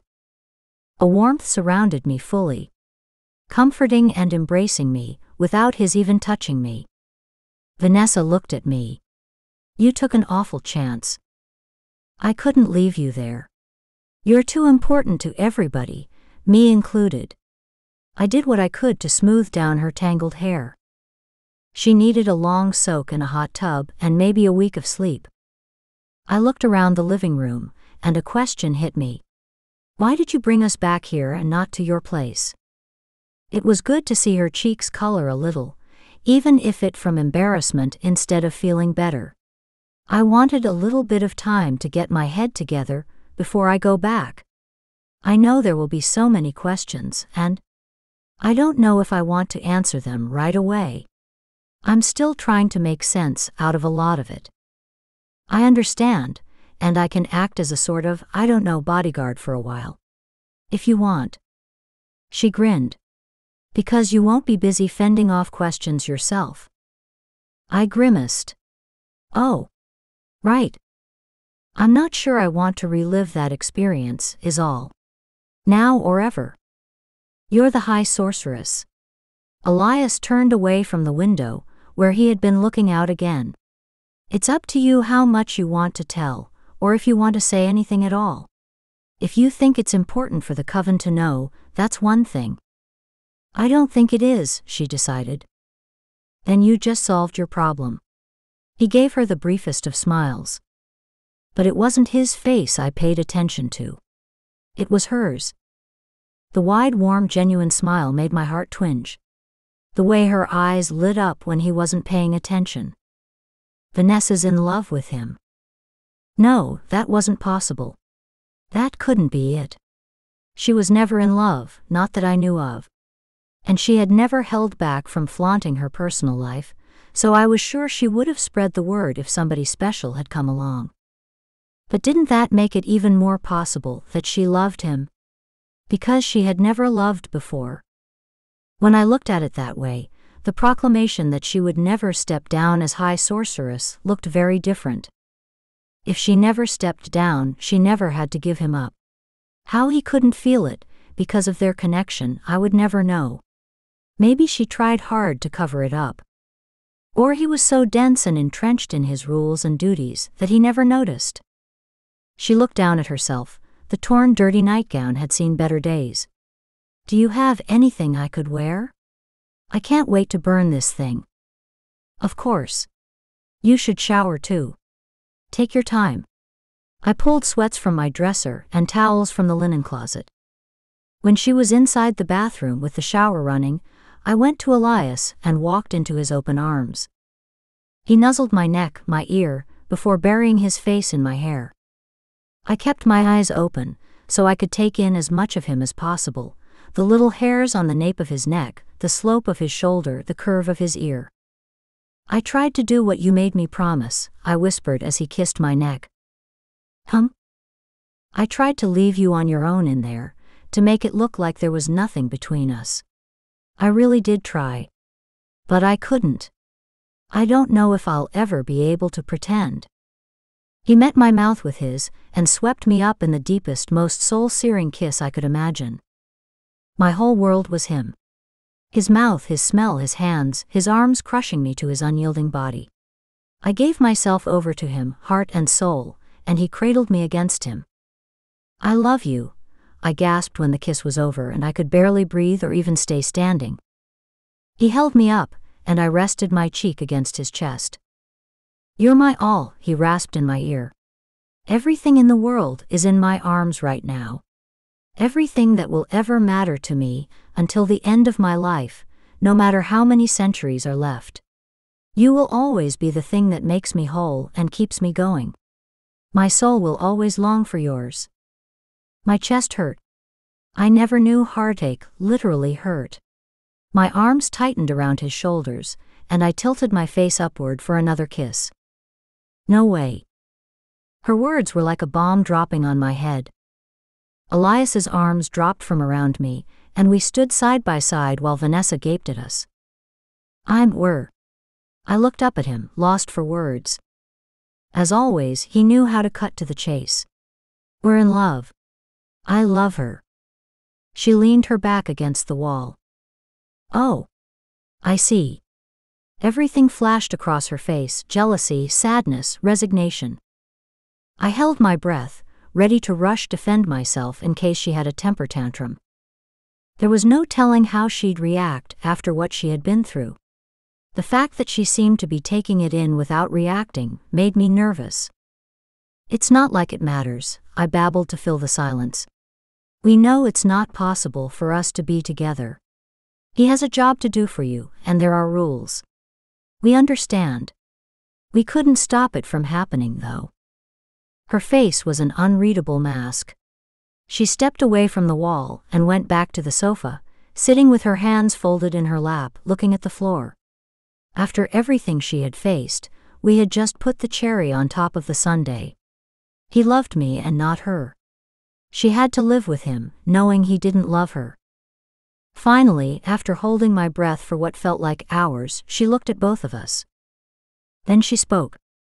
I'm sorry for you both, she murmured, still staring at the floor. I know how strict the Folds rules are. We didn't mean to make things awkward or difficult, I whispered, chewing my lip, wondering which side she would finally fall on. Was she petty enough to report him for falling in love? He would leave her service, and neither of us would ever have him. You didn't make it awkward or difficult, she murmured, then looked up at me. What if you didn't survive tonight? My heart skipped a beat, even though I had no idea what she meant. What did you just say? I whispered. What are you talking about? Elias crouched beside her. She took a deep breath, then let it out slowly. What if I tell everybody you didn't survive? Christoph or one of his minions, whoever they were, killed you both during the fight?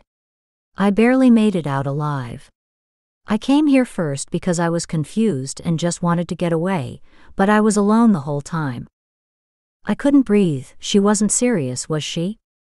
Was it possible that we could pull off such an enormous lie? I looked at Elias, hoping he would help me understand. But he was as confused as I was. It's my duty to guard you, he said slowly, like he was trying to make sense of the idea. I know. And you've done as good a job as you could, she said as she carefully and very slowly covered his hand with hers. Like she was afraid of what he'd do if she touched him. He was either too surprised to react, or he genuinely didn't mind, because his hand didn't move.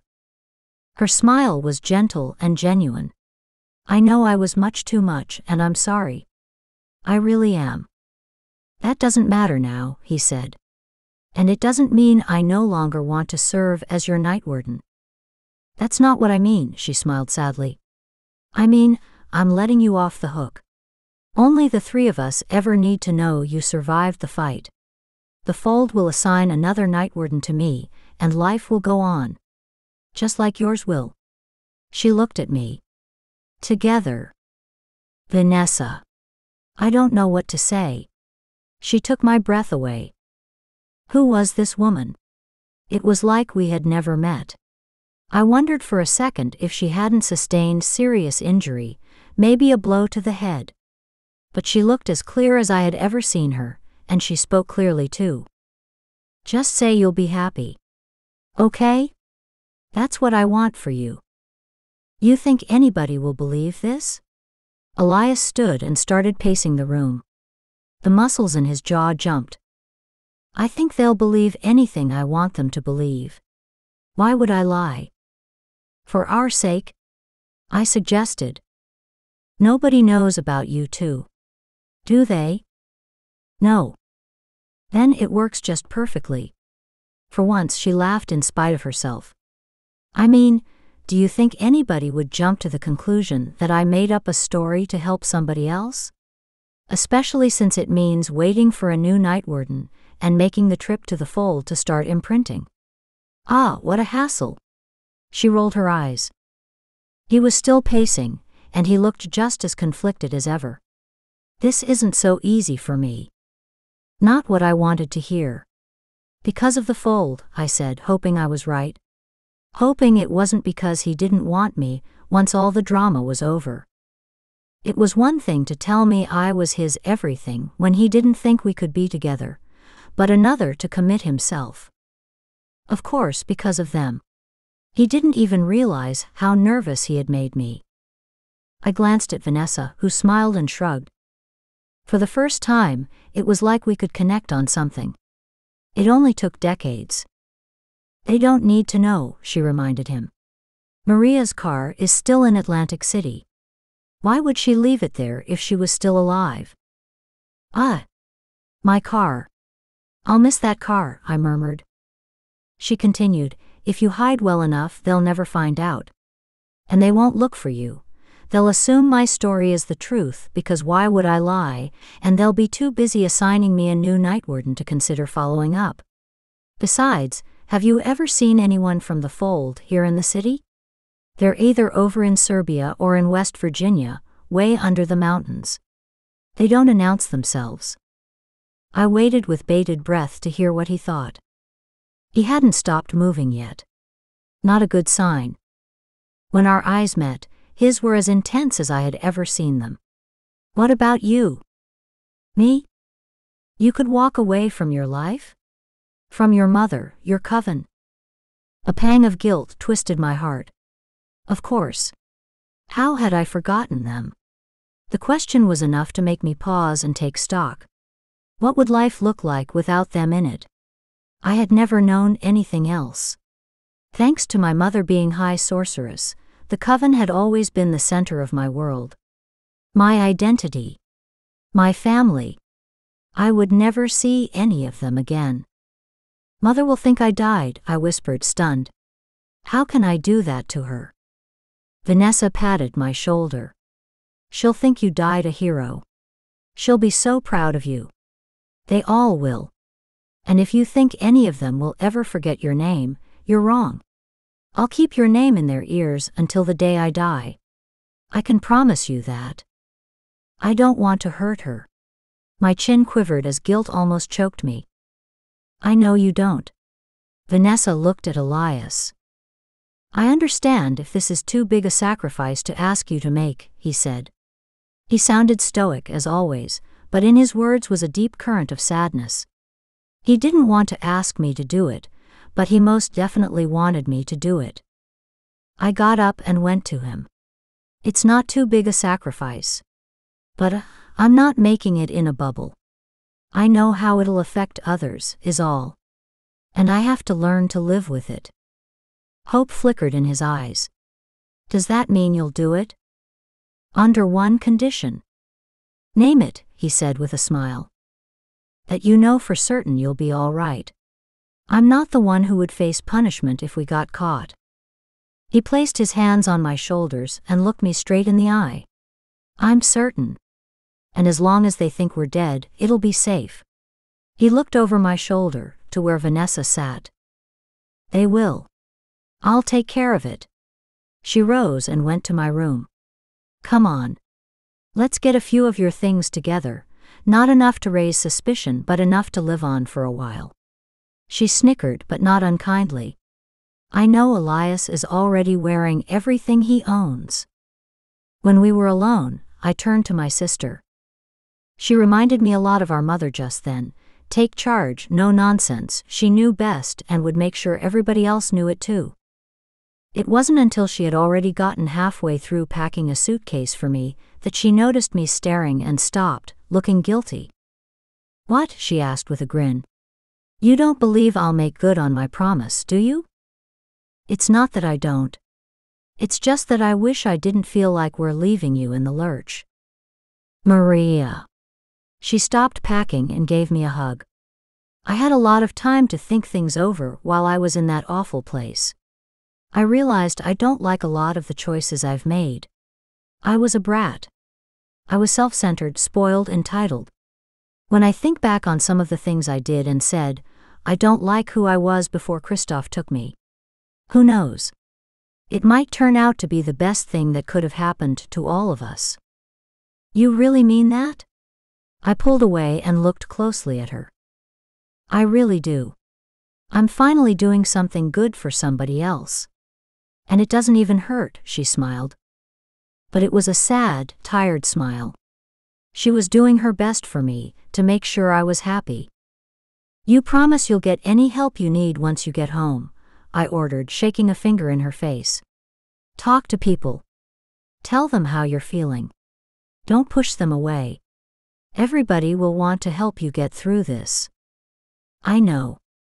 I'll do my best. She shrugged. That's all I can say. And be nice to your new Nightwarden. I'll do my best there too. She gave me a playful shove. Now finish what I started and get moving. Bossy, I muttered, wrinkling my nose. We laughed together for the last time as sisters, and one of the few times. A shame it had to be one of the few times. Epilogue Mariya and Elias. I used to think I was good at adapting to new situations, but this is beyond me. And you know I'm trying. Elias shifted one of the bags of groceries on his hip as he groaned. I laughed. It's been eight months living like a normal person, and you still haven't gotten used to it. Some things, yes. Coming and going as I please. That's different. He looked around the busy street, all the people walking around us. I don't have to be with you all the time, which is new. I don't mind it. Oh, thanks, I said with a touch of sarcasm. You know what I mean. I'd be with you all the time, every day if I could. But you have to work. Speaking of learning how to deal with things, I laughed in spite of myself. You're doing well. Yes, because I have help, don't I? I made an extremely fast and efficient executive assistant when I used my abilities to my advantage. I didn't like to do it all the time, it felt like cheating, but it helped when my boss threw a curveball at me. And when I had to pretend, I knew how to do things I had never attempted before.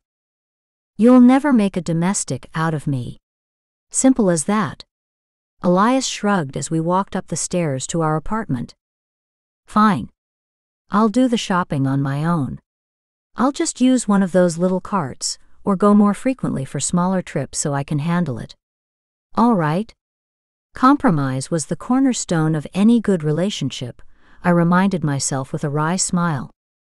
Philadelphia wasn't New York, but it was becoming home. We lived in a simple apartment filled with books. He read faster than anybody I had ever met, a side effect of never sleeping, and refused to use electronic books. He didn't trust them, and didn't care how ridiculous it sounded. So it was the three of us me, Elias, and our library. We'd need a separate apartment soon just for them. But we were happy. It had been the best eight months of my life, even with the little bumps in the road. I had adjusted to working for a living, and he had adjusted to living with another person, instead of having a little cell of his own. He still felt Vanessa sometimes when she felt something very strongly, but the fact that he had imprinted on me helped work her out of his system.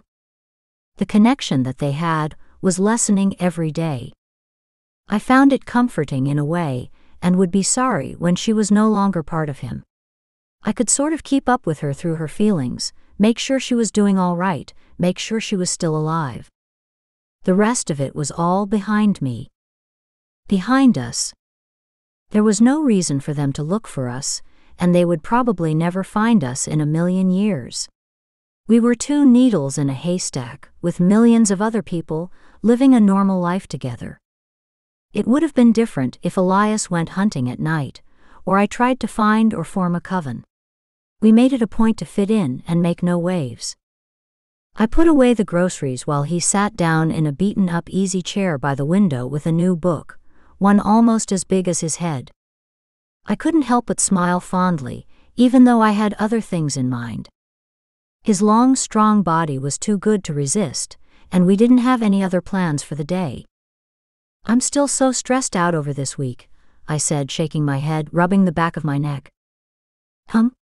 He didn't look up. I almost growled. I said, I'm stressed out from all the craziness at the office. It's Saturday morning, and I still can't shake it. My neck is so tight, my head is achy. I feel terrible. I wish I could work this tension out somehow. Um him. He flipped a page. I closed my eyes and counted to ten before speaking again.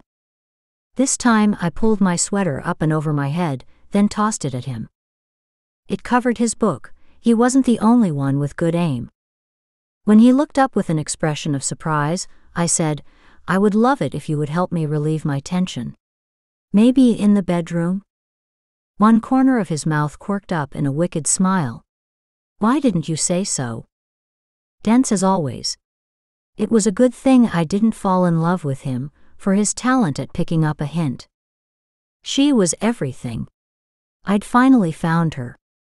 Our laughter dissolved, and before I knew it, we were kissing. It was sweet and passionate at the same time, but there was no urgency. We had all the time in the world. She was going to be my wife. My woman forever. I hope you've enjoyed this Ava Benton book. Don't forget to subscribe and to ring the bell to be notified of new releases.